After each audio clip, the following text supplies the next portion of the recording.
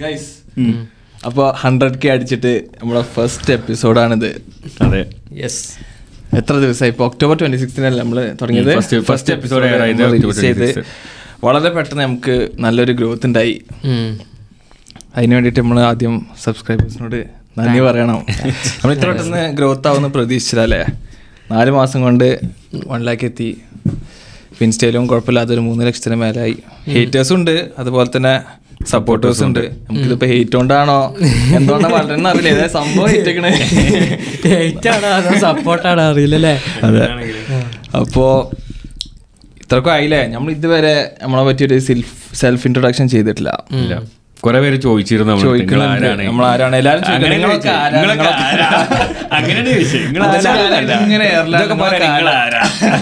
ഒക്കെ താഴെ ഇവൻ ഏതാന്നൊക്കെ.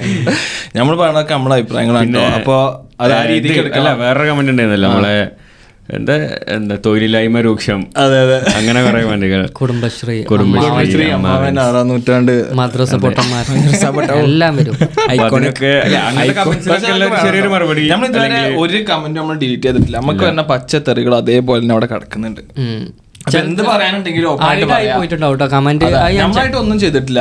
എല്ലാ തെറികളും അതേപോലെ അവിടെ കിടക്കുന്നുണ്ട്. അപ്പോ അല്ല അങ്ങനത്തെ സാധാരണ ഡിലീറ്റ് ചെയ്യുമ്പോൾ നമ്മളങ്ങനെ ഡിലീറ്റ് ചെയ്തിട്ടില്ല എന്ന് പറയാം. അതെ.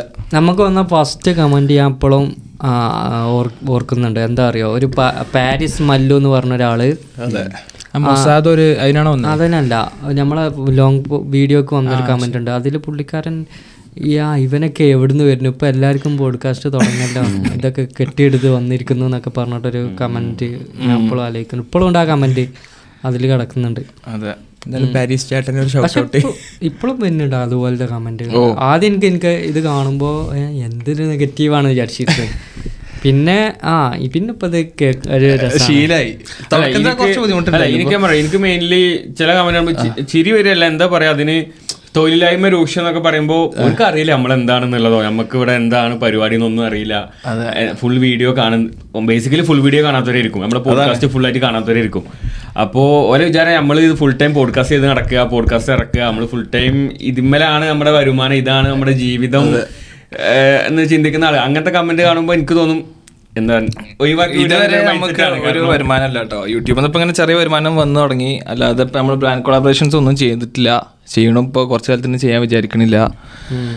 നമുക്ക് ഒരുപാട് മെയിൽസ് വരുന്നു ഒരുപാട് ഇഷ്ടമാതിരി വരുന്നുണ്ട്. ഇപ്പൊ തൽക്കാലം ഏതായാലും ആ രീതിക്ക് ചെയ്യണ്ടെന്നുള്ളൊരു പ്ലാനിലാണ് ഇതിന്ന് കിട്ടിയിട്ട് വേണമെന്നില്ല ഞങ്ങൾക്ക് സത്യം പറഞ്ഞാൽ നമ്മളെ മെയിൻ പരിപാടി ഒരുപാട് എന്ന് പറയാൻ പറയാ ലിറ്ററലി ഒരുപാട് ഇമെയിൽ വരുന്നുണ്ട്. ഒരു ഇരുപത്തഞ്ച് മുപ്പതിന്റെ മുകളിൽ എന്തായാലും ഇമെയിൽ വന്നിട്ടുണ്ട്. അതിനൊക്കെ നമ്മൾ ചിലതിനൊക്കെ റിപ്ലൈ കൊടുത്തിട്ടുണ്ട് ഇതുപോലെ നമ്മളിപ്പോ നോക്കുന്നില്ല എന്ന് പറഞ്ഞിട്ട്. നോക്കുന്നില്ല എന്നുള്ളതല്ല. എന്ന് വിചാരിച്ചിട്ട് ഇപ്പൊ ഇത് കാണുന്ന ആളുകൾ ഓവർ ബ്രാൻഡ് കൊളാബറേഷൻസ് ഒന്നും എടുക്കില്ല അങ്ങനത്തെ ഒരു മൈൻഡ് അല്ല. നമ്മളൊന്നും ചെയ്യണില്ല. നമ്മൾ നമ്മളെ മൈൻഡിൽ അത് ഇല്ല എന്നുള്ളൊരു പോയിന്റ് ആണ്. അപ്പോൾ ലിറ്ററലി അങ്ങനെ ഒരു ഇരുപത്തഞ്ച് മുപ്പതിന്റെ മുകളിൽ എന്തായാലും ബ്രാൻഡ് കൊളാബറേഷൻ വന്നിട്ടുണ്ട്. പക്ഷെ നമ്മൾ അത് ഇതുവരെ പ്രൊസീഡ് ചെയ്തിട്ടില്ല. അത് മെയിലേക്ക് വന്നല്ലേ ഇമെയിൽ വന്നത്. ഇൻസ്റ്റാഗ്രാം കത്തിലാറ് അതിലാറ് വന്നിട്ടുണ്ട്. ഇഷ്ടം പോലെ വന്നിട്ടുണ്ട് ഇൻസ്റ്റാഗ്രാം ഞാൻ എല്ലാവരോടും പറയില്ല ഞങ്ങൾ ചെയ്യണില്ല എന്നാ പറയുന്നത് റിപ്ലൈ കൊടുക്കും. ഏതായാലും പതിയെ ചെയ്ത് തുടങ്ങണം അതാണ്. നിലവിൽ ഇപ്പൊ നമ്മൾ നമ്മളെ ക്വാളിറ്റി കുറച്ച് കൂട്ടാം എന്നുള്ളൊരു പോയിന്റിലായിരുന്നല്ലോ നമ്മൾ ഇതുവരെ മുന്നോട്ട് പോയിക്കൊണ്ടിരുന്നതും. ഇനി അങ്ങോട്ട് അത് തന്നെയാണ്. അപ്പൊ ബ്രാൻഡ് കൊളാബ് അത്ര ഫോക്കസ് ചെയ്തിരുന്നില്ല എന്നുള്ളതാണ്. അപ്പോ നമ്മൾ പറഞ്ഞില്ല ഇതും കാര്യമായിട്ട് വരുമാനം ഒന്നും വരുന്നില്ല. അപ്പോ ആൾക്കാർക്ക് അറിയാനൊരു ആഗ്രഹം ഉണ്ടാവും. നമ്മളൊക്കെ എന്താ ചെയ്യണെന്നുള്ളത് അപ്പൊ ആരെയാ തുടങ്ങാം? ഫൈസൽ സ്റ്റാർട്ട് ചെയ്തോ? സ്റ്റാർട്ട് ചെയ്തോ? അല്ല ഞാൻ പാരിസിന്റെ അടുത്ത് തുടങ്ങാം സ്റ്റാർട്ട് ചെയ്യാം. ഞാൻ പാരിസിന്റെ അടുത്ത് തുടങ്ങണം എന്ന് വിചാരിച്ചിരുന്നു ഓക്കെ. ഫാരിസ് ഇപ്പോ ഫാരിസ് പഠിച്ചതൊക്കെ സി ടിയിലല്ലേ പഠിച്ച സി ടിയിൽ ആ പിന്നെ? ഞാൻ പത്താം ക്ലാസ് വരെ ഗൾഫിലേന്. ഗൾഫിൽ അബുദാബി. അബുദാബിയിൽ ബോൺ ആൻഡ് ബ്രോട്ടപ്പ് അബുദാബിയാണ്. പിന്നെ പ്ലസ് വൺ പ്ലസ് ടു നാട്ടിലേക്ക് വന്നു. നാല് വർഷം engineering college of engineering plus one plus two സ്കൂളിൽ സ്കൂളിലാണ് പഠിച്ചേ? അൻസാർ ഇംഗ്ലീഷ് സ്കൂൾ മറ്റേ എന്താ. ഓക്കെ അങ്ങനെ എഞ്ചിനീയറിംഗ് കയറി. Industrial engineering college of engineering Trivandrum അവിടെ നിന്നാണ് ഞാൻ നിഷിനെ കണ്ടത്. അന്ന് സ്റ്റാർട്ട് ചെയ്ത കൊളാബറേഷൻ? സ്റ്റാർട്ട് ചെയ്ത കൊളാബറേഷൻ ആണ്. പിന്നെ വിട്ടിട്ടില്ല. അങ്ങനെ എഞ്ചിനീയറിങ് കഴിഞ്ഞു. നാട്ടിലൊരു വർഷത്തോളം വെറുതെ ഇരുന്ന്. പിന്നെ പോളണ്ടിൽ കയറി മാസ്റ്റേഴ്സ് ചെയ്യാനായിട്ട്. ഇവിടുത്തെ വാർസോ സ്കൂൾ ഓഫ് എക്കണോമിക്സിൽ ഇന്റർനാഷണൽ ബിസിനസ് കംപ്ലീറ്റ് ചെയ്തു. ഇപ്പോൾ ഐ ടി മാനേജറായിട്ട് വർക്ക് ചെയ്യാണ് ഇവിടെ വാർസോയിൽ തന്നെ. ഒരു മൂന്ന് വർഷത്തോളമായി പോളണ്ടിൽ വർക്ക് ചെയ്യണേ. ശരി. പറയട്ടെ? നിങ്ങൾ ഒരുമിച്ച് അല്ല collaboration പാരീസ് എന്ന് നടത്തുന്ന പറഞ്ഞാ പാരി- അല്ല പാരീസിനോട് പാരീസിന്റെ ഇതൊക്കെ അല്ലേ പാരീസ് ട്രേഡിങ്ങും കാര്യങ്ങളും ഇൻവെസ്റ്റ്മെന്റ് ഒക്കെ അല്ലേ? അതെ. അതെങ്ങനെയൊക്കെയാ ചെയ്യൽ? അപ്പോ ഞങ്ങൾ മൂന്നാളുണ്ടോ രണ്ടായിരത്തി ഇരുപത് കൊറോണ ടൈം ഉണ്ടായിരുന്നല്ലോ. അതെ. അപ്പോൾ ടൈമിൽ ഒന്നും കാര്യമായിട്ട് പണിയും കാര്യങ്ങളൊന്നും ഇല്ലായിരുന്നു. ഞങ്ങളിങ്ങനെ അബ്രോഡ് സ്റ്റഡീസിനും കാര്യങ്ങളൊക്കെ ചെയ്യുന്നുണ്ടായിരുന്നു അപ്പോൾ ലോക്ക്ഡൗൺ വന്നു ക്ലാസ്സുകളെല്ലാം മുടങ്ങി. വീട്ടിലിരിക്കുന്നു വെറുതെ ഇരിക്കുന്നു അപ്പോൾ യൂട്യൂബിൽ ഒരു സീരീസ് ഉണ്ടായിരുന്നു ഷാരിഖ് ഷംസുദ്ദീന്റെ അപ്പോൾ ഞങ്ങളിങ്ങനെ കുറേ കാലമായിട്ട് വിചാരിക്കുന്നുണ്ടായിരുന്നു നമുക്ക് എന്തെങ്കിലും ഇങ്ങനെ ട്രേഡിങ്ങും സ്റ്റോക്ക് മാർക്കറ്റൊക്കെ പഠിക്കണം എന്നുള്ളത്. കാരണം നമ്മളിങ്ങനെ വരുമാനം വെറുതെ ഒരു സാലറി ബേസിൽ നമ്മളിങ്ങനെ ഏൺ ചെയ്തിട്ട് കാര്യമല്ല പാരലായിട്ട് ഇൻവെസ്റ്റ് ചെയ്യണം ട്രേഡ് ചെയ്യണം പാസീവ് ഇൻകം ജനറേറ്റ് ചെയ്യണം. അതായത് നമ്മുടെ പണം ഉപയോഗിച്ചിട്ട് തന്നെ you should make money with your money okay അങ്ങനത്തെ മൈൻഡിൽ ഇങ്ങനെ നിൽക്കുന്നത് നമുക്ക് പക്ഷെ ഒരു സ്റ്റാർട്ടിംഗ് പോയിന്റ് കിട്ടുന്നില്ല. ഇത് എവിടുന്ന് തുടങ്ങണം എന്നുള്ളൊരു സ്റ്റാർട്ടിംഗ് പോയിന്റ് നമുക്ക് കിട്ടിയിട്ടില്ല ഇൻവെസ്റ്റ് ചെയ്ത്?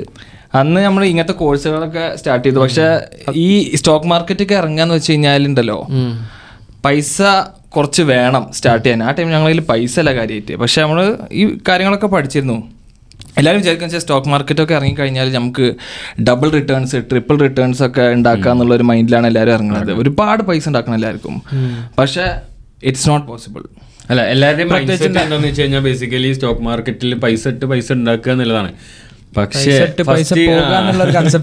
അല്ല ഈ ഇപ്പം പറയാം ഇൻട്രാഡേന്റെ ഒക്കെ കേസ് എടുത്തു കഴിഞ്ഞാൽ നയന്റി പെർസെന്റ് ആൾക്കാർ ലോസിലാണ് ടെൻ പെർസെന്റേജ് ആണ് പ്രോഫിറ്റ് അപ്പോൾ ആ സ്കില്ല് മാസ്റ്റർ ചെയ്യുക എന്നുള്ളൊരു പോയിന്റ് ആണ് ഞങ്ങൾ ഞങ്ങൾ ബേസിക്കലി തുടങ്ങിയ സമയത്ത് അതാണ് ഞങ്ങൾ ഫോക്കസ് ഞാൻ ഫാരിസ് ആണെങ്കിലും തക്കു ആണെങ്കിലും നമ്മൾ വേറെ കുറച്ച് ഫ്രണ്ട്സ് ഉണ്ടായിരുന്നു ഞങ്ങൾ ഒരുമിച്ച് തുടങ്ങിയപ്പോൾ ആദ്യം ഈ സ്കില്ല് മാസ്റ്റർ ചെയ്യുക ഇത് പഠിക്കുക ഒരു ആറ് മാസം ഒരു കൊല്ലം എടുത്തോട്ടെ. ആദ്യം ഈ സ്കില്ല് പഠിച്ചിട്ട് കൺസിസ്റ്റന്റ് ആയിട്ട് പ്രോഫിറ്റ് ഉണ്ടാക്കുക എന്നുള്ള ഒരു മൈൻഡ് സെറ്റ് ആണ് ഞങ്ങൾ അങ്ങനെയാണ് ഞങ്ങൾ തുടങ്ങിയത് അങ്ങനെ എത്ര ടൈം എടുത്തു പഠിച്ചെടുക്കാൻ? പഠിച്ചെടുക്കാൻ ഞാൻ എപ്പോഴും പഠിച്ചു കഴിഞ്ഞ പറയാൻ പറ്റില്ല. ഞാൻ കോൺസ്റ്റന്റ്ലി ലേണിംഗ് ഫേസിലാണ് ഇപ്പൊ അധികം ടൈമിൽ ഡെഡിക്കേറ്റ് ചെയ്യാൻ പറ്റുന്നില്ല. പക്ഷെ എന്നാലും നിയർലി ഒരു ത്രീ വീക്സ് ഫോർ വീക്സ് ആയപ്പോൾ ഏകദേശം ഒരു മാസം ആയപ്പോൾ തന്നെ ഞങ്ങൾ ഫസ്റ്റ് ഞങ്ങൾ ട്രേഡ് എടുത്തിട്ടുണ്ട് നമ്മൾ എടുത്തിട്ടുണ്ട്, ഇൻട്രാഡേയിൽ ഫസ്റ്റ് ട്രേഡ് കാരണം പ്രാക്ടീസിലൂടെ പഠിക്കണല്ലോ. ആദ്യത്തെ ഒരു ആറ് മാസത്തോളം എനിക്ക് കണ്ടിന്യൂസ് ലോസസ് ആയിരുന്നു. അത്. ഒരുവിധം സ്റ്റോക്ക് മാർക്കറ്റ് വരുന്ന എല്ലാവരും അവസ്ഥ അത് തന്നെയാണ്. ഇപ്പൊ ഒരുപാട് ഫേക്ക് ഗുരൂസ് ഉണ്ട് ഇൻസ്റ്റാഗ്രാമിൽ ഇൻസ്റ്റാഗ്രാമിലും യൂട്യൂബിലൊക്കെ നിങ്ങൾക്ക് എളുപ്പത്തിൽ പൈസ ഉണ്ടാക്കുക സ്റ്റോക്ക് മാർക്കറ്റ് പഠിച്ചാൽ മതി പറഞ്ഞു. ഇങ്ങനെ ഫേക്ക് ആയിട്ട് ഒരുപാട് കോഴ്സസ് ഇങ്ങനെ വെക്കും പക്ഷെ യാഥാർത്ഥ്യം എന്ന് വെച്ച് കഴിഞ്ഞാൽ സ്റ്റോക്ക് മാർക്കറ്റിൽ പൈസ ഉണ്ടാക്കുക എന്ന് വെച്ച് കഴിഞ്ഞാൽ അത്രക്കും ബുദ്ധിമുട്ടുള്ള ഒരു കാര്യമാണ്.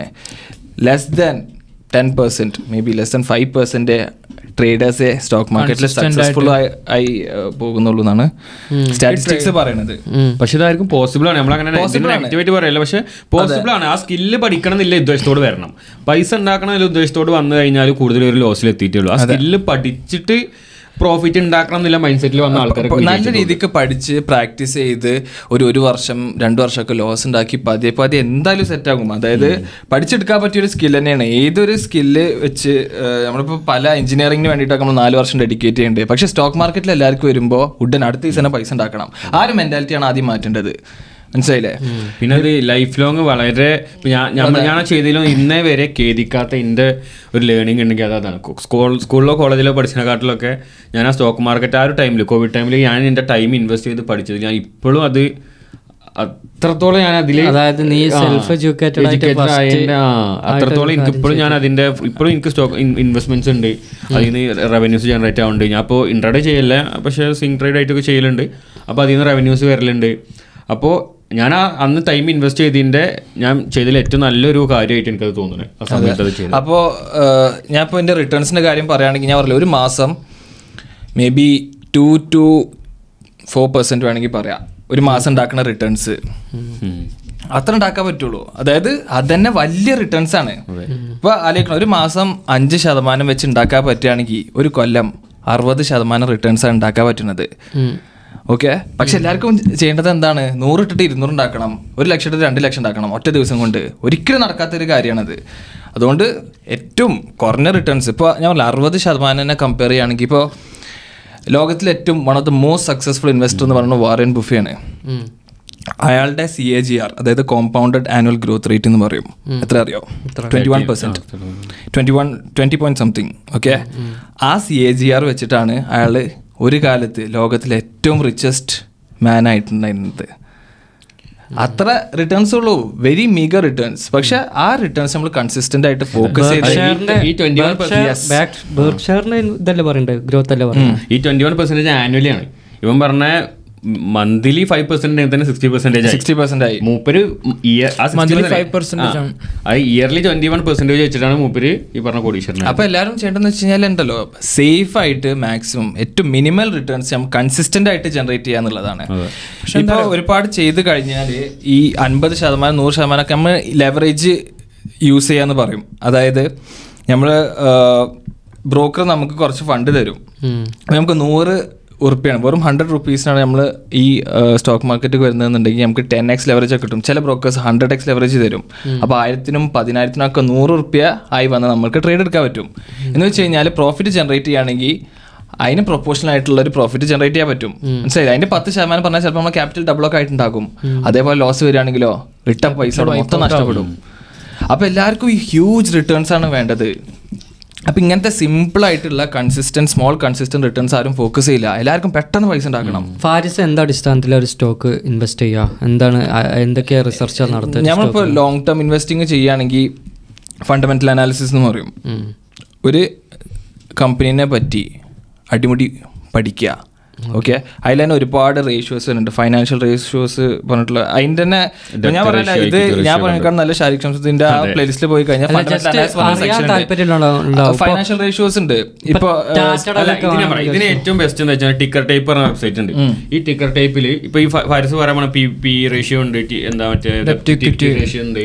പിന്നെ ഓല എത്ര ഡെപ്ത് ഉണ്ട് അങ്ങനെ ഓല ബാലൻസ് ഷീറ്റ് വായിക്കാൻ ഒരുപാട് മനസ്സിലാക്കാം ഇത് പറയാൻ എന്നാലും തീരുമില്ല അപ്പൊ ഒന്നും അറിയാത്ത ഒരാൾക്ക് ഏറ്റവും ബെസ്റ്റ് എന്താ വെച്ചാൽ ആ സ്റ്റോക്കിന്റെ പേര് ടിക്കർ ടൈപ്പർ പറഞ്ഞ വെബ്സൈറ്റ് അതിൽ കൊണ്ടുപോയി അടിച്ചു കൊടുത്തു കഴിഞ്ഞാൽ അതിൽ കറക്റ്റ് അറിയാൻ പറ്റും അതിന്റെ ഫിനാൻഷ്യൽ ഹെൽത്ത് അതായത് ആ സ്റ്റോക്ക് എത്രത്തോളം ഹെൽത്തി ആണ് ഇൻവെസ്റ്റ് ചെയ്യുക എന്നുള്ളത്. ടിക്കർ ടൈപ്പ് ഭയങ്കര നല്ലൊരു നല്ലൊരു സൈറ്റ് ആണ്. അതിൽ കയറിയാൽ കിട്ടും. ഈ റീസെന്റ് ക്വാർട്ടർ ഏണിങ്സ് ഒക്കെ അവർ അപ്ഡേറ്റ് ചെയ്തിട്ടുണ്ടാവുമോ ഞാൻ ഇപ്പൊ സിമ്പിൾ ആയിട്ട്. ഒരു കമ്പനിയുടെ നല്ല ഹെൽത്തി ആണെന്ന് പറയുകയാണെങ്കിൽ ഈ റിട്ടേൺ ഓൺ ഇക്വിറ്റി പറഞ്ഞിട്ടുള്ള ഫൈനാൻഷ്യൽ റേഷ്യോ ഉണ്ട് റിട്ടേൺ ഓൺ ക്യാപിറ്റൽ എംപ്ലോയ്ഡ് ഉണ്ട്. ഇത് ഗ്രേറ്റർ ദാൻ ട്വന്റി പെർസെന്റ് ആണെങ്കിൽ അതൊരു ഹെൽത്തി സൈൻ ആണ്. പിന്നെ ഡെറ്റ് ടു ഇക്വിറ്റി റേഷ്യോ ഉണ്ട്. കടം ഒരു കമ്പനിക്ക് എത്രത്തോളം കടം ഉണ്ട് എന്നുള്ളത്. അത് എപ്പോഴും സീറോ ആണ്. ഏറ്റവും സേഫ് ഡെറ്റ് ഉള്ള ഹ്യൂജ് ഡെറ്റ്സ് വെച്ചിട്ടുള്ള കമ്പനീസ് ഒക്കെ ഇൻവെസ്റ്റ് ചെയ്ത് കഴിഞ്ഞാൽ ഭാവിയിൽ നല്ല രീതിക്ക് പെർഫോം ചെയ്യില്ല. സ്റ്റാറ്റിസ്റ്റിക്സ് പറയുന്നത് അതാണ്. ഇപ്പോൾ അദാനിന്റെ കേസൊക്കെ എടുക്കുകയാണെങ്കിൽ അത് ഒരു ടിക്കിംഗ് ടൈം ബോംബ് ആയിരുന്നു സ്റ്റോക്ക് മാർക്കറ്റിൽ അത് നമ്മൾ കണ്ടു എന്തൊക്കെയാണ് സംഭവിച്ചിട്ടുള്ളത് അദാനിന്റെ തിരിച്ചു വന്നില്ല. തിരിച്ചു വന്നു. പക്ഷെ പറയാം ഇപ്പോഴും നമ്മൾ. ഫണ്ടമെന്റൽസ് എപ്പോഴും സ്ട്രോങ് ആയിട്ടുള്ള കമ്പനീസിൽ വേണം നമ്മൾ ഇൻവെസ്റ്റ് ചെയ്യാൻ അപ്പൊ അതിന് വേണ്ടിയിട്ട് ഒരുപാട് ഫൈനാൻഷ്യൽ റേഷ്യൂസും കാര്യങ്ങളുണ്ട്. അപ്പൊ നല്ല രീതിക്ക് പഠിച്ചിട്ട് ഇൻവെസ്റ്റ് ലോങ് ടൈമൊക്കെ ഇൻവെസ്റ്റ് ചെയ്യുമ്പോൾ നമ്മൾ ഈ പറഞ്ഞ കാര്യങ്ങൾ ബാലൻസ് ഷീറ്റിൽ പറഞ്ഞ ഈ കാര്യങ്ങളൊക്കെ നോക്കുക. അതേപോലെ ഇൻട്രാഡേ ഒക്കെ എടുക്കുന്ന സമയത്താണെങ്കിൽ നമ്മൾ ടെക്നിക്കൽ അനാലിസിസ് നോക്കണം. അതായത് ട്രയാങ്കിൾസും ചാർട്ട് നോക്കിയിട്ട്. ട്രേഡ് ചെയ്യുക. അപ്പോൾ ഇപ്പൊ ഈ ഫണ്ടമെന്റൽ അനാലിസിസ് സ്വയം ചെയ്ത് ഇൻവെസ്റ്റ് അതായത് ചെയ്യാൻ പറ്റൂല എന്നുള്ളൊരു അവസ്ഥയാണെങ്കിൽ എസ് ഐ പിസ് ഉണ്ട് ഒരുപാട്. സ്മോൾ കേസിന്റെ ഒക്കെ ഒരുപാട് എസ് ഐ പിസ് ഉണ്ട്. എസ് ഐ പി എന്ന് വെച്ച് കഴിഞ്ഞാൽ സിസ്റ്റമാറ്റിക് ഇൻവെസ്റ്റ്മെന്റ് പ്ലാൻ എല്ലാ മാസം നമ്മൾ സാലറിന്റെ ഒരു പത്ത് ശതമാനമോ ഇരുപത് ശതമാനം ഒക്കെ നമ്മൾ ഇൻവെസ്റ്റ് ചെയ്യുക അപ്പൊ അതൊരു പോർട്ട്ഫോളിയോ ഓഫ് സ്റ്റോക്സ് ഒക്കെ ആയിരിക്കും പോണത്. അത് മാനേജ് ചെയ്യുന്നത് എക്സ്പേർട്ട് ഫണ്ട് മാനേജേഴ്സും കാര്യങ്ങളൊക്കെ ആയിരിക്കും. ഓക്കെ അപ്പോൾ സ്മോൾ കേസ് പറഞ്ഞൊരു പ്ലാറ്റ്ഫോം ഉണ്ട്. അതിൽ പോയി കഴിഞ്ഞാൽ നമുക്ക് ഒരുപാട് എസ് ഐ പിസിൽ ഇൻവെസ്റ്റ് ചെയ്യാൻ പറ്റും. ഒരുപാട് പ്ലാറ്റ്ഫോംസ് ഉണ്ട്. ഗ്രോസ് സ്മോൾ കേസിംഗ് അപ്പോൾ ഇതിലൊക്കെ പോയി കഴിഞ്ഞാൽ നമുക്കിപ്പോൾ ഏതൊരു കോൺസെപ്റ്റ് ഇപ്പോൾ ടാറ്റന്റെ സ്റ്റോക്സിൽ ഇൻവെസ്റ്റ് ചെയ്യാനുള്ള ഒരു പോർട്ട്ഫോളിയോ ഉണ്ട്. ഈ അല്ലല്ലോ ഇൻവെസ്റ്റ് ചെയ്യണത്. അപ്പോൾ നമ്മൾ സാലറിന്റെ എല്ലാ മാസം ഒരു പത്ത് ഇരുപത് ശതമാനം അതിലേക്ക് ആ എസ് ഐ പി കിട്ടുകയാണെങ്കിൽ ടാറ്റന്റെ പല സ്റ്റോക്സിൽ നമ്മളെ നമ്മളെ ലിസണേഴ്സിന് എല്ലാവർക്കും ഒന്നും ഇതിനെ കുറിച്ച് നിങ്ങൾ പറയുമ്പോൾ വലിയ ടേംസാണ് പറയുന്നത്. അതായത് ഇത് ട്രേഡിങ്ങിൽ ഇറങ്ങിക്കഴിഞ്ഞ് ഉള്ള ഒരാൾക്ക് ഈ നിങ്ങൾ പറഞ്ഞ ഇൻവെസ്റ്റിങ്ങും രണ്ട് രണ്ടാണ്. അതാദ്യം ഈ ഇൻവെസ്റ്റ് ചെയ്യേണ്ട ഇപ്പൊ ഇൻവെസ്റ്റിങ്ങിനെ കുറിച്ചാണ് നമ്മൾ സംസാരിക്കുന്നത് അപ്പോൾ ഇത് ഒരു സാധാരണക്കാരന് ഇപ്പോൾ ചെയ്യണം എന്നുണ്ടെങ്കിൽ നീ പറഞ്ഞ പോലെ ട്വന്റി പെർസെന്റേജ് എടുത്തിട്ട് ഇൻവെസ്റ്റ് ചെയ്യണം എന്നുണ്ടെങ്കിൽ അവരുടെ സാലറിന്ന് എങ്ങനെ ചെയ്യും? അവരെങ്ങനെ ചെയ്യും എന്നുള്ള നീ എങ്ങനെ പറയാൻ പോകുന്നത് ഇപ്പൊ ലൈക്ക് നീ ഇങ്ങനെ പറഞ്ഞു കൊടുത്താൽ basic പറഞ്ഞു കൊടുക്കാനാണ് പറയുന്നത്. കൊടുക്കുമ്പോൾ എങ്ങനെയാവും? എക്സ്പ്ലെയിൻ ചെയ്ത് സ്മോൾ കേസിന്റെ വെബ്സൈറ്റിൽ പോയി കഴിഞ്ഞാൽ തന്നെ ഇപ്പൊ യൂട്യൂബിൽ കാര്യങ്ങളൊക്കെ സെർച്ച് ചെയ്ത് കഴിഞ്ഞാൽ ഒരുപാട് വീഡിയോസ് ഉണ്ടാകും അപ്പൊ ആ സൈറ്റിലേക്ക് പോയി കഴിഞ്ഞാൽ ഒരു ഒരു അമ്പതിനായിരം റുപ്യ സാലറിയിൽ അല്ലെങ്കിൽ മുപ്പതിനായിരം റുപ്യ സാലറിയിൽ ഒരാളാന്ന് വിചാരിച്ചോ? ഓക്കെ. അപ്പോ അപ്പോൾ അവരെ അവരെ ഇതിന്റെ ഒരു ടെൻ പെർസെന്റേജ് ഇൻവെസ്റ്റ് ചെയ്യണം എല്ലാ മാസം ഇപ്പൊ നമ്മളുണ്ടല്ലോ മുപ്പതിനായിരം ഇപ്പൊ ഏതൊരു സാലറി കിട്ടാൻ നമ്മൾ ഫിഫ്റ്റി തേർട്ടി ട്വന്റി റൂൾ എന്ന് പറയും. അൻപത് ശതമാനം ഈ വോൺസും നീഡ്സും മറ്റേത് വാൺസും നീഡ്സും എന്താ അതുമല്ലേ അല്ലേ എന്താ ഇൻവെസ്റ്റ് ചെയ്യാൻ അതെ. അത് നമ്മൾ സ്പ്ലിറ്റ് ചെയ്യാണ് ബേസിക്കലി അലോക്കേറ്റ് ചെയ്യാണ്. അപ്പൊ അതിനനുസരിച്ചിട്ടാണ് നമ്മൾ ഇൻവെസ്റ്റ് ചെയ്യുക ഓക്കെ അപ്പൊ ഈ സ്മോൾ കേസിൽ പോയി കഴിഞ്ഞാൽ നമുക്ക് തന്നെ ഡിഫറെന്റ് ഓപ്ഷൻസ് ഉണ്ടാക്കും. ഏതിനാണ് ഇൻവെസ്റ്റ് ചെയ്യുന്നത് അപ്പോൾ ക്ലിയർ കട്ടായിട്ട് അതിൽ തന്നെ ഇൻഫർമേഷൻ കാര്യങ്ങളൊക്കെ ഉണ്ട്. എങ്ങനെ ചെയ്യുക എന്നുള്ളത് നമ്മുടെ സാലറിന്റെ ഒരു ശതമാനം ഒരു ബ്രോക്കർ അക്കൗണ്ട് ക്രിയേറ്റ് ചെയ്ത് കഴിഞ്ഞാൽ അതിലേക്ക് ഈ ബ്രോക്കർ അക്കൗണ്ട് എവിടെ ക്രിയേറ്റ് ചെയ്യുക ഏത് വെബ്സൈറ്റിലാണോ ഒരുപാട് ബ്രോക്കേഴ്സ് ഉണ്ട്. സെറോദ അപ്സ്റ്റോക്സ് ആസ്ത അങ്ങനത്തെ ഒരുപാട് I I F L securities okay. അപ്പൊ നമുക്ക് വേണമെങ്കിൽ ഡെഡിക്കേറ്റഡ് ആയിട്ട് ഇതിനൊന്ന് പറ്റി ഇരുന്ന് ചെയ്യാൻ പറ്റും. ഇതിപ്പോ ഡെഡിക്കേറ്റഡ് ചെയ്യുന്ന ഒരു വീഡിയോ ഇതിപ്പോ ഇങ്ങനെ ഒരാൾക്ക് ചെയ്യണം അല്ല ജസ്റ്റ് ഇങ്ങനെ ഒരാൾക്ക് ചെയ്യണമെന്നുണ്ടെങ്കിൽ നീ പറഞ്ഞ നല്ല കാര്യം ഒരു സാലറിന്റെ ഒരു ഒരുപാട് ആൾക്കാർക്ക് ഇൻവെസ്റ്റ് ചെയ്യണം ഈ സാലറിന്റെ ഒരു പെർസെന്റേജ് ഇൻവെസ്റ്റ് ചെയ്യുന്നത് എനിക്ക് ഒരു പറയുന്നത് അതായത് ഇപ്പൊ നമ്മൾ ഇപ്പം പറഞ്ഞ ട്വന്റി പെർസെന്റേജ് ഇൻവെസ്റ്റ് ചെയ്യുമ്പോൾ ട്വന്റി പെർസെന്റേജും ഒരു പർട്ടിക്കുലർ സ്റ്റോക്കിലോ അല്ലെങ്കിൽ ഒരു പർട്ടിക്കുലർ ഇപ്പം പറഞ്ഞ പോർട്ട്ഫോളിയോയിലോ ഇൻവെസ്റ്റ് ചെയ്ത് സ്മോൾ കേസ് പോയിട്ട്. നിലവിൽ നമുക്ക് ചെയ്യേണ്ടതെന്ന് വെച്ചാൽ ഇപ്പൊ ഞാൻ ചെയ്യണ ബേസിക്കലി ഞാൻ പറഞ്ഞുതരാം. ഞാൻ ചെയ്യുന്ന ഈ ട്വന്റി പെർസെന്റേജ് തന്നെ ഞാൻ ട്വന്റി പെർസെന്റേജ് ചെയ്യണില്ല ബേസിക്കലി ഞാൻ ടെൻ പെർസെന്റേജ് ചെയ്യണുള്ളൂ ആ ടെൻ പെർസെന്റേജ് തന്നെ ഞാൻ five percentage five percentage divide ചെയ്തിരിക്കണേ. Okay അതിൽ ഒരു ഫൈവ് പെർസെന്റേജ് ഞാൻ ചെയ്യണമെന്ന് വെച്ചാൽ ഒരു ഒരു സൈൻഡ് ഓഫ് സെറ്റിൽ ആയിട്ടാണ് അത് എല്ലാ മാസം മുടക്കാതെ ഞാൻ ഇടുന്നുണ്ട് പിന്നെ ഇല്ല ഫൈവ് പെർസെന്റേജ് വേറൊരു ടാറ്റന്റെ ഇതിലാണ് ഞാൻ ഇടുന്നത്. ഇത് ഈ രണ്ട് ടെൻ പെർസെന്റ് ഈ ടെൻ പെർസെന്റ് കൂടാതെ ഒരു ഫൈവ് പെർസെന്റ് ഞാൻ ഇടുന്നുണ്ട്. പക്ഷെ അത് എല്ലാ മാസവും ചിലപ്പോൾ ഇടലില്ല കാരണം എന്റെ കയ്യിലുള്ള ഫണ്ടിനനുസരിച്ചാണ്. അപ്പോൾ ഈ ഫസ്റ്റത്തെ രണ്ട് ഫൈവ് പെർസെന്റിന്റെ സെറ്റും എല്ലാ മാസവും എങ്ങനെ പോയാലും ഞാൻ ഇടും എന്നുള്ളൊരു എമൗണ്ട് ആണ് ഞാൻ ഇട്ട് വെക്കുന്നത് അതായത് ചിലപ്പോൾ നമ്മളെ കൊണ്ട് അഞ്ഞൂറേ പറ്റുള്ളൂ അല്ലെങ്കിൽ രണ്ടായിരത്തി അഞ്ഞൂറേ പറ്റുള്ളൂ എന്നെങ്കിൽ അത് മതി. പക്ഷെ ഒരിക്കലും മുടക്കൂല എന്നുള്ള ഒരു മൈൻഡ് സെറ്റിൽ വേണം അത് തുടങ്ങാൻ. അപ്പോൾ നമ്മൾ നമ്മളിപ്പോൾ ഒരു നമുക്ക് പതിനായിരം റുപ്യാണ് നമ്മളെ ടെൻ പെർസെന്റേജ് എന്നുണ്ടെങ്കിൽ ആ പതിനായിരം റുപ്യ എല്ലാ മാസവും ചിലപ്പോൾ ചില സാഹചര്യങ്ങൾ നമുക്ക് ഉണ്ടാവും. ചില മാസം ടൈറ്റ് ആവും. അപ്പോൾ നമുക്ക് പതിനായിരം റുപ്യേന്റെ ഒരു സെറ്റിൽ കൊണ്ടുപോയിട്ട് കഴിഞ്ഞാൽ ആ മാസം നമുക്ക് ഫുള്ളായിട്ട് പതിനായിരം ഇടാൻ പറ്റില്ല. അപ്പോൾ നമ്മളത് സ്പ്ലിറ്റ് ചെയ്ത് രണ്ടായിരത്തി അഞ്ഞൂറിന്റെ ഒന്ന് രണ്ടായിരത്തി അഞ്ഞൂറിന്റെ ഒന്ന് അയ്യായിരത്തിന്റെ ഒന്ന് അങ്ങനെ മൂന്നാക്കി സ്പ്ലിറ്റ് ചെയ്തിട്ട് അറ്റ്ലീസ്റ്റ് ആ രണ്ടായിരത്തി അഞ്ഞൂറിന്റെ രണ്ടെണ്ണെങ്കിലും എല്ലാ മാസവും കൺസിസ്റ്റന്റ് ആയിട്ട് അടക്കുക.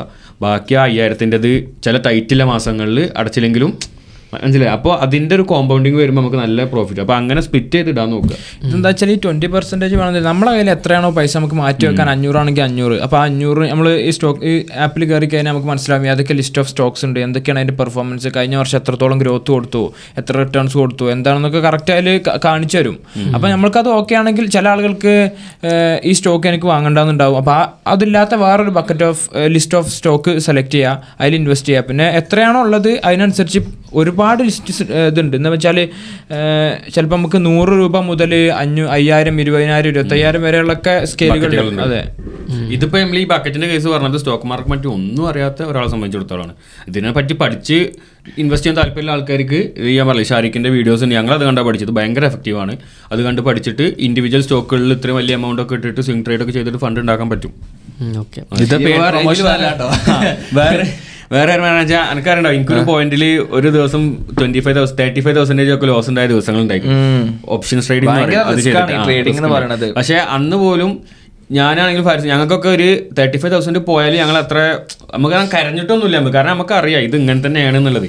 അതായത് നമ്മൾ എപ്പോഴും ഈ ഓപ്ഷൻസ് എന്ന് പറഞ്ഞാൽ വീക്കിലാണ് എടുക്കുക. ഒരു കൊല്ലത്തിൽ അമ്പത്തിരണ്ട് ആഴ്ച ഉണ്ട് ചില വീക്കിൽ മുപ്പത്തയ്യായിരം പോകും. നമുക്ക് കിട്ടുമ്പോൾ പത്തും പന്ത്രണ്ടും പതിനഞ്ചൊക്കെ ആയിരം കിട്ടുക. ഈ നമ്മളൊരു നൂറ് ട്രേഡ് എടുത്താൽ അതിലൊരു നാൽപ്പത് എണ്ണോ മുപ്പത്തഞ്ച് എണ്ണം സക്സസ് ആയാൽ തന്നെ ബാക്കി ദിവസം ലോസ് ആണെങ്കിലും കറക്റ്റ് സ്റ്റോപ്പ് ലോസ് വെച്ച് എക്സിറ്റ് ചെയ്തിട്ടുണ്ട്. നമ്മളൊരു സ്ട്രാറ്റജി ഉണ്ടെന്നുണ്ടെങ്കിൽ നമ്മൾ ഈ നൂറ് ട്രേഡിൽ മുപ്പതോ മുപ്പത്തഞ്ചെണ്ണം സക്സസ് ആയാൽ തന്നെ നമ്മൾ വിജയിക്കും. ഈ ഫിഫ്റ്റി ടു വീക്സിൽ നമുക്ക് പ്രോഫിറ്റ് ഉണ്ടായിട്ടുണ്ടാവുള്ളൂ. അപ്പോൾ ചില ദിവസം വലിയ നഷ്ടങ്ങൾ വരുമ്പോഴും അതാ നഷ്ടമുള്ള ദിവസമാണ്. ബാക്കി ഞാൻ പറഞ്ഞ ഈ നൂറിൽ മുപ്പത്തഞ്ച് കുറച്ച ബാക്കി എന്താ അറുപത്തഞ്ചുണ്ട് ആ അറുപത്തഞ്ച് പെട്ട ദിവസമാണത്. മനസ്സിലായില്ലേ? ബാക്കി മുപ്പത്തഞ്ച് നമുക്ക് പ്രോഫിറ്റ് ആണ്.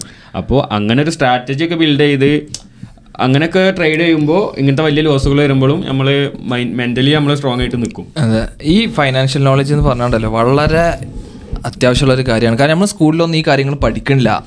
ഇൻവെസ്റ്റിങ്ങിനെ പറ്റി. വെറുതെ ഒരു ജോലിക്ക് കയറി ഇങ്ങനെ ഒരു ശമ്പളക്കാരനായി കാലാകാലം തുടരുക എന്നുള്ളൊരു മൈൻഡ് സെറ്റാണ് പൊതുവെ നമ്മുടെ സ്കൂളിൽ അങ്ങനത്തെ ഒരു മെന്റാലിറ്റിയാണ് ഉള്ളത്. ഞാൻ ഇന്നും പാടിയേ കണ്ടിട്ടുള്ളൂ. സ്ലൈവ് സിസ്റ്റം എപ്പോഴും മാറിയിട്ടില്ല. നിങ്ങൾ പേച്ചക് ടു പാച്ചക്കാണ്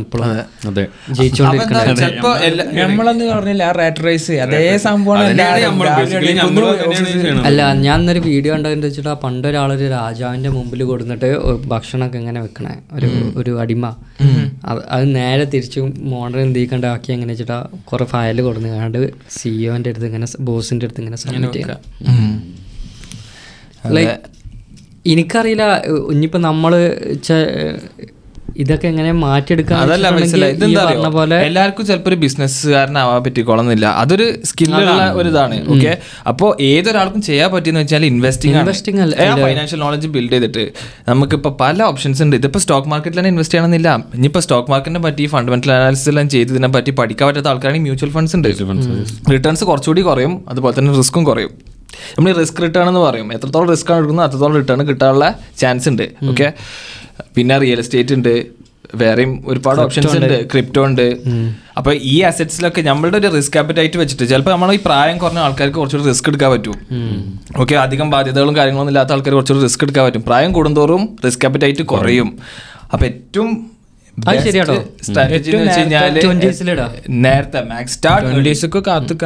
അത് പക്ഷെ നമ്മൾ നമ്മളൊരു ഇപ്പൊ ഈ യു എസിലെ കൾച്ചർ വെച്ചിട്ടും നമ്മളെ കൾച്ചർ വെച്ചിട്ടും യു എസിലുള്ളവരൊക്കെ ഒരു സിക്സ്റ്റീൻ ഒക്കെ ആകുമ്പോൾ തന്നെ ഒരുവിധ ആൾക്കാരൊക്കെ ക്രിപ്റ്റോയിൽ ഇൻവെസ്റ്റ് ചെയ്ത് തുടങ്ങി. അതെ. അതുകൊണ്ടാണ് ഇപ്പോൾ വൈറ്റാലിക് ബ്യൂട്ടറിനൊക്കെ എത്തേറിയം തുടങ്ങിയതും അങ്ങനെ ഒരുപാട് പിന്നെ സിഒഎസിനൊക്കെ നോക്കിയിട്ടുണ്ടെങ്കിൽ എല്ലാവരും ഏറിൽ നല്ല അതെ യങ് ആയിട്ട് വന്ന് വരുന്നുണ്ട്. ബില്യണേഴ്സ് വരുന്നത്. അല്ലേ ഈ പറഞ്ഞ പോലെ ഫിനാൻഷ്യൽ എഡ്യൂക്കേഷൻ കിട്ടാത്ത ഒരു കുറവുണ്ട് അതിൽ നമ്മളെ പോലെയുള്ള ആൾക്കാർക്ക്. അത് നമ്മളെ വീട്ടിൽ ഇങ്ങനെ വളർന്നു വരുന്നതുകൊണ്ട് നമ്മൾ ഒരുവിധ ആ സൈഡ് അറിയുന്നില്ല. എല്ലാം കവർ ചെയ്ത് പോകുന്നുണ്ട് പാരൻസ് അതെ എക്സാക്ട്ലി അപ്പൊ ഇങ്ങനെ പേച്ചക് ടു പേച്ചക് വർക്ക് ചെയ്ത് കഴിഞ്ഞാൽ നമ്മളിപ്പോൾ അങ്ങനെ ഒരുപാട് പൈസ സേവ് ചെയ്തിട്ട് കാര്യമല്ല കാരണം ഇൻഫ്ലേഷൻ എന്ന് പറഞ്ഞൊരു സംഭവമുണ്ട് അതെ. വർഷം തോറും നമ്മളെ കയ്യിലുള്ള പൈസയുടെ മൂല്യം കുറഞ്ഞുകൊണ്ടേ ഇരിക്കുകയാണ് അപ്പോൾ ആ ഇൻഫ്ലേഷനെ ബീറ്റ് ചെയ്യാൻ investing is the main tool അത് മനസ്സിലാക്കുക.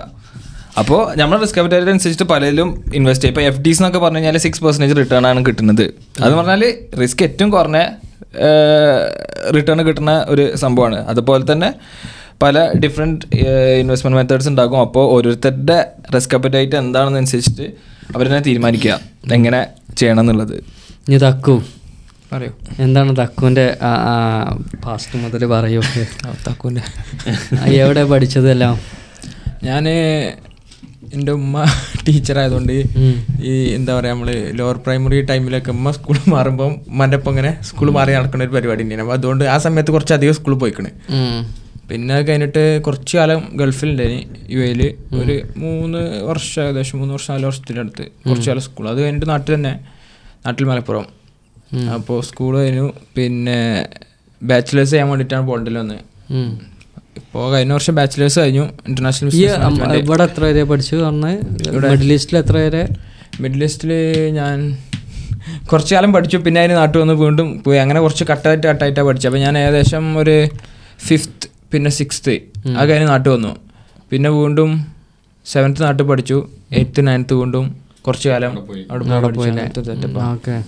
പിന്നെ ബാക്കിയൊക്കെ നാട്ടിൽ പഠിച്ചു. പിന്നെ ട്വൽത്ത് വരെ നാട്ടിൽ പഠിച്ചു. കഴിഞ്ഞിട്ട് ഇവിടെ വന്നു. ഇവിടെ ഇവിടെ എന്താ? അധികം ഐ പഠിച്ചു. ഞാനൊരു സെവന്റീൻ ഞങ്ങൾ മീറ്റ് ചെയ്യണത് അത് പറഞ്ഞിരിക്കണ നിങ്ങൾ ഐ എൽ ടി എസിന്.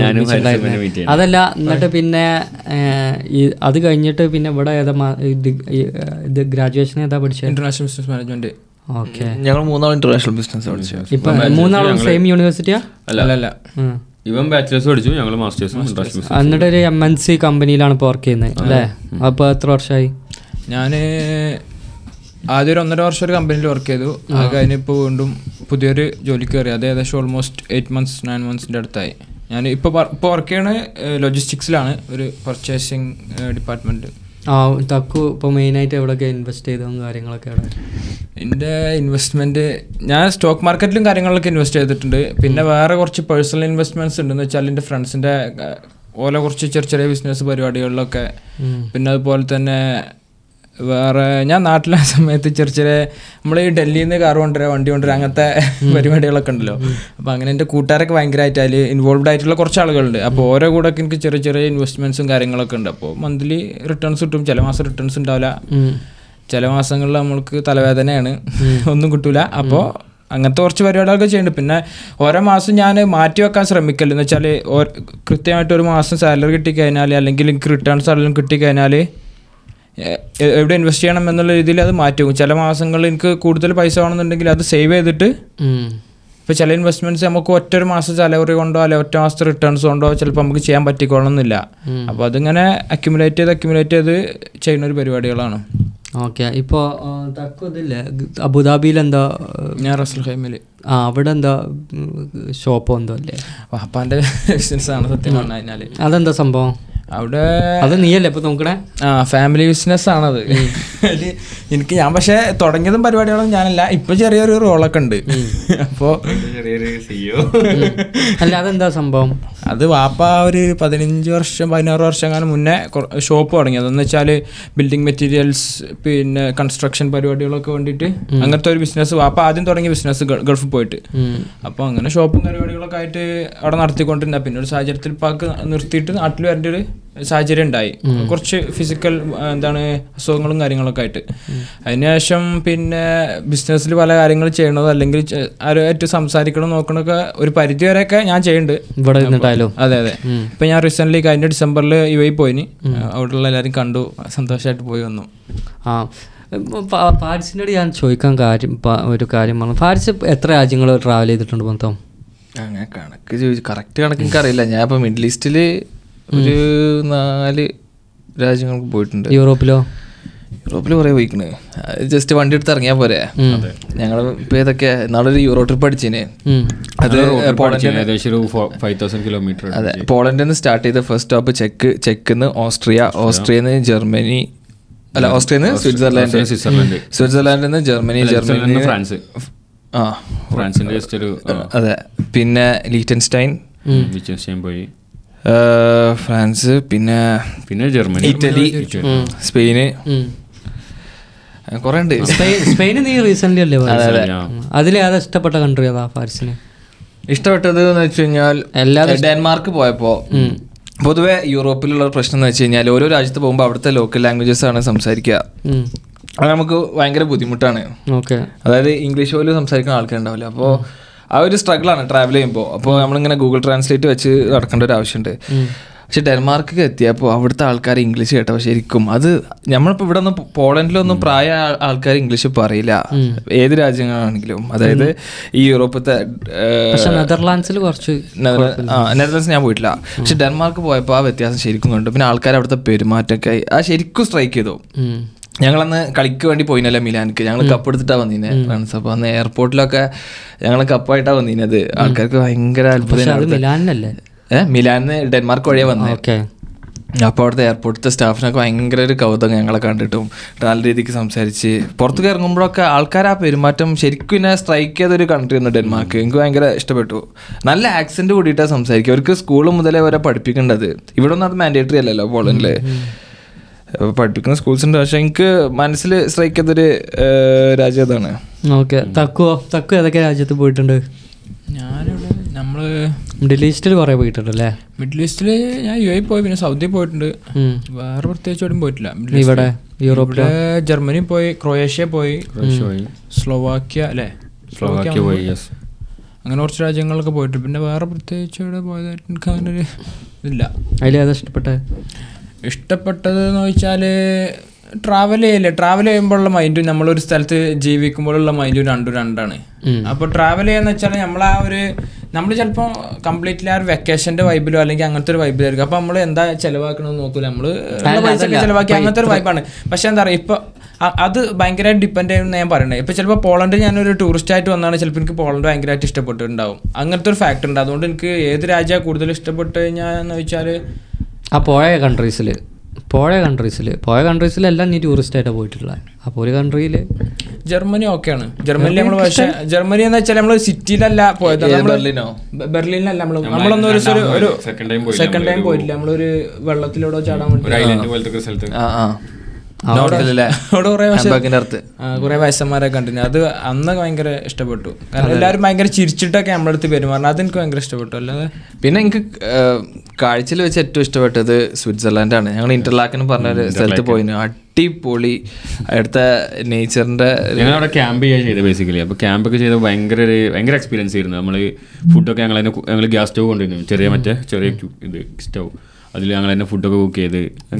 ഞങ്ങൾക്ക് ഒരാൾക്ക് നാല്പതിനായിരം നാട്ടിലത്തെ ഇക്വലിന് നോക്കി നാല്പതിനായിരം ഉറുപ്പ്യ ചെലവായിട്ടുള്ളൂ. അതായത് പത്ത് ദിവസത്തെ റോഡ് ട്രിപ്പിൽ പത്ത് ദിവസത്തെ റോഡ് ട്രിപ്പിന് ഞങ്ങൾ നാലാൾ ഒരു കാറിൽ പോയി. അല്ല അതിന്റെ ബേസിക് കാരണം പറഞ്ഞു നമുക്ക് മെയിൻലി നമ്മൾ ട്രാവൽ ചെയ്യുമ്പോൾ ഏറ്റവും കൂടുതൽ എക്സ്പെൻസ് വരുന്നത് നമ്മളെ ഈ ടിക്കറ്റ് ടിക്കറ്റ് അതായത് നമ്മൾ ഫ്ലൈറ്റ് ടിക്കറ്റ് ആണെങ്കിൽ ബസ് ടിക്കറ്റ് ആണെങ്കിൽ അതും സ്റ്റേയുമാണ് സ്റ്റേ ഞങ്ങൾ ഈ പത്ത് ദിവസത്തെ ട്രിപ്പിൽ ഒറ്റ ദിവസം പോലും നമ്മളെവിടെയും റൂം എടുത്തിട്ടില്ല.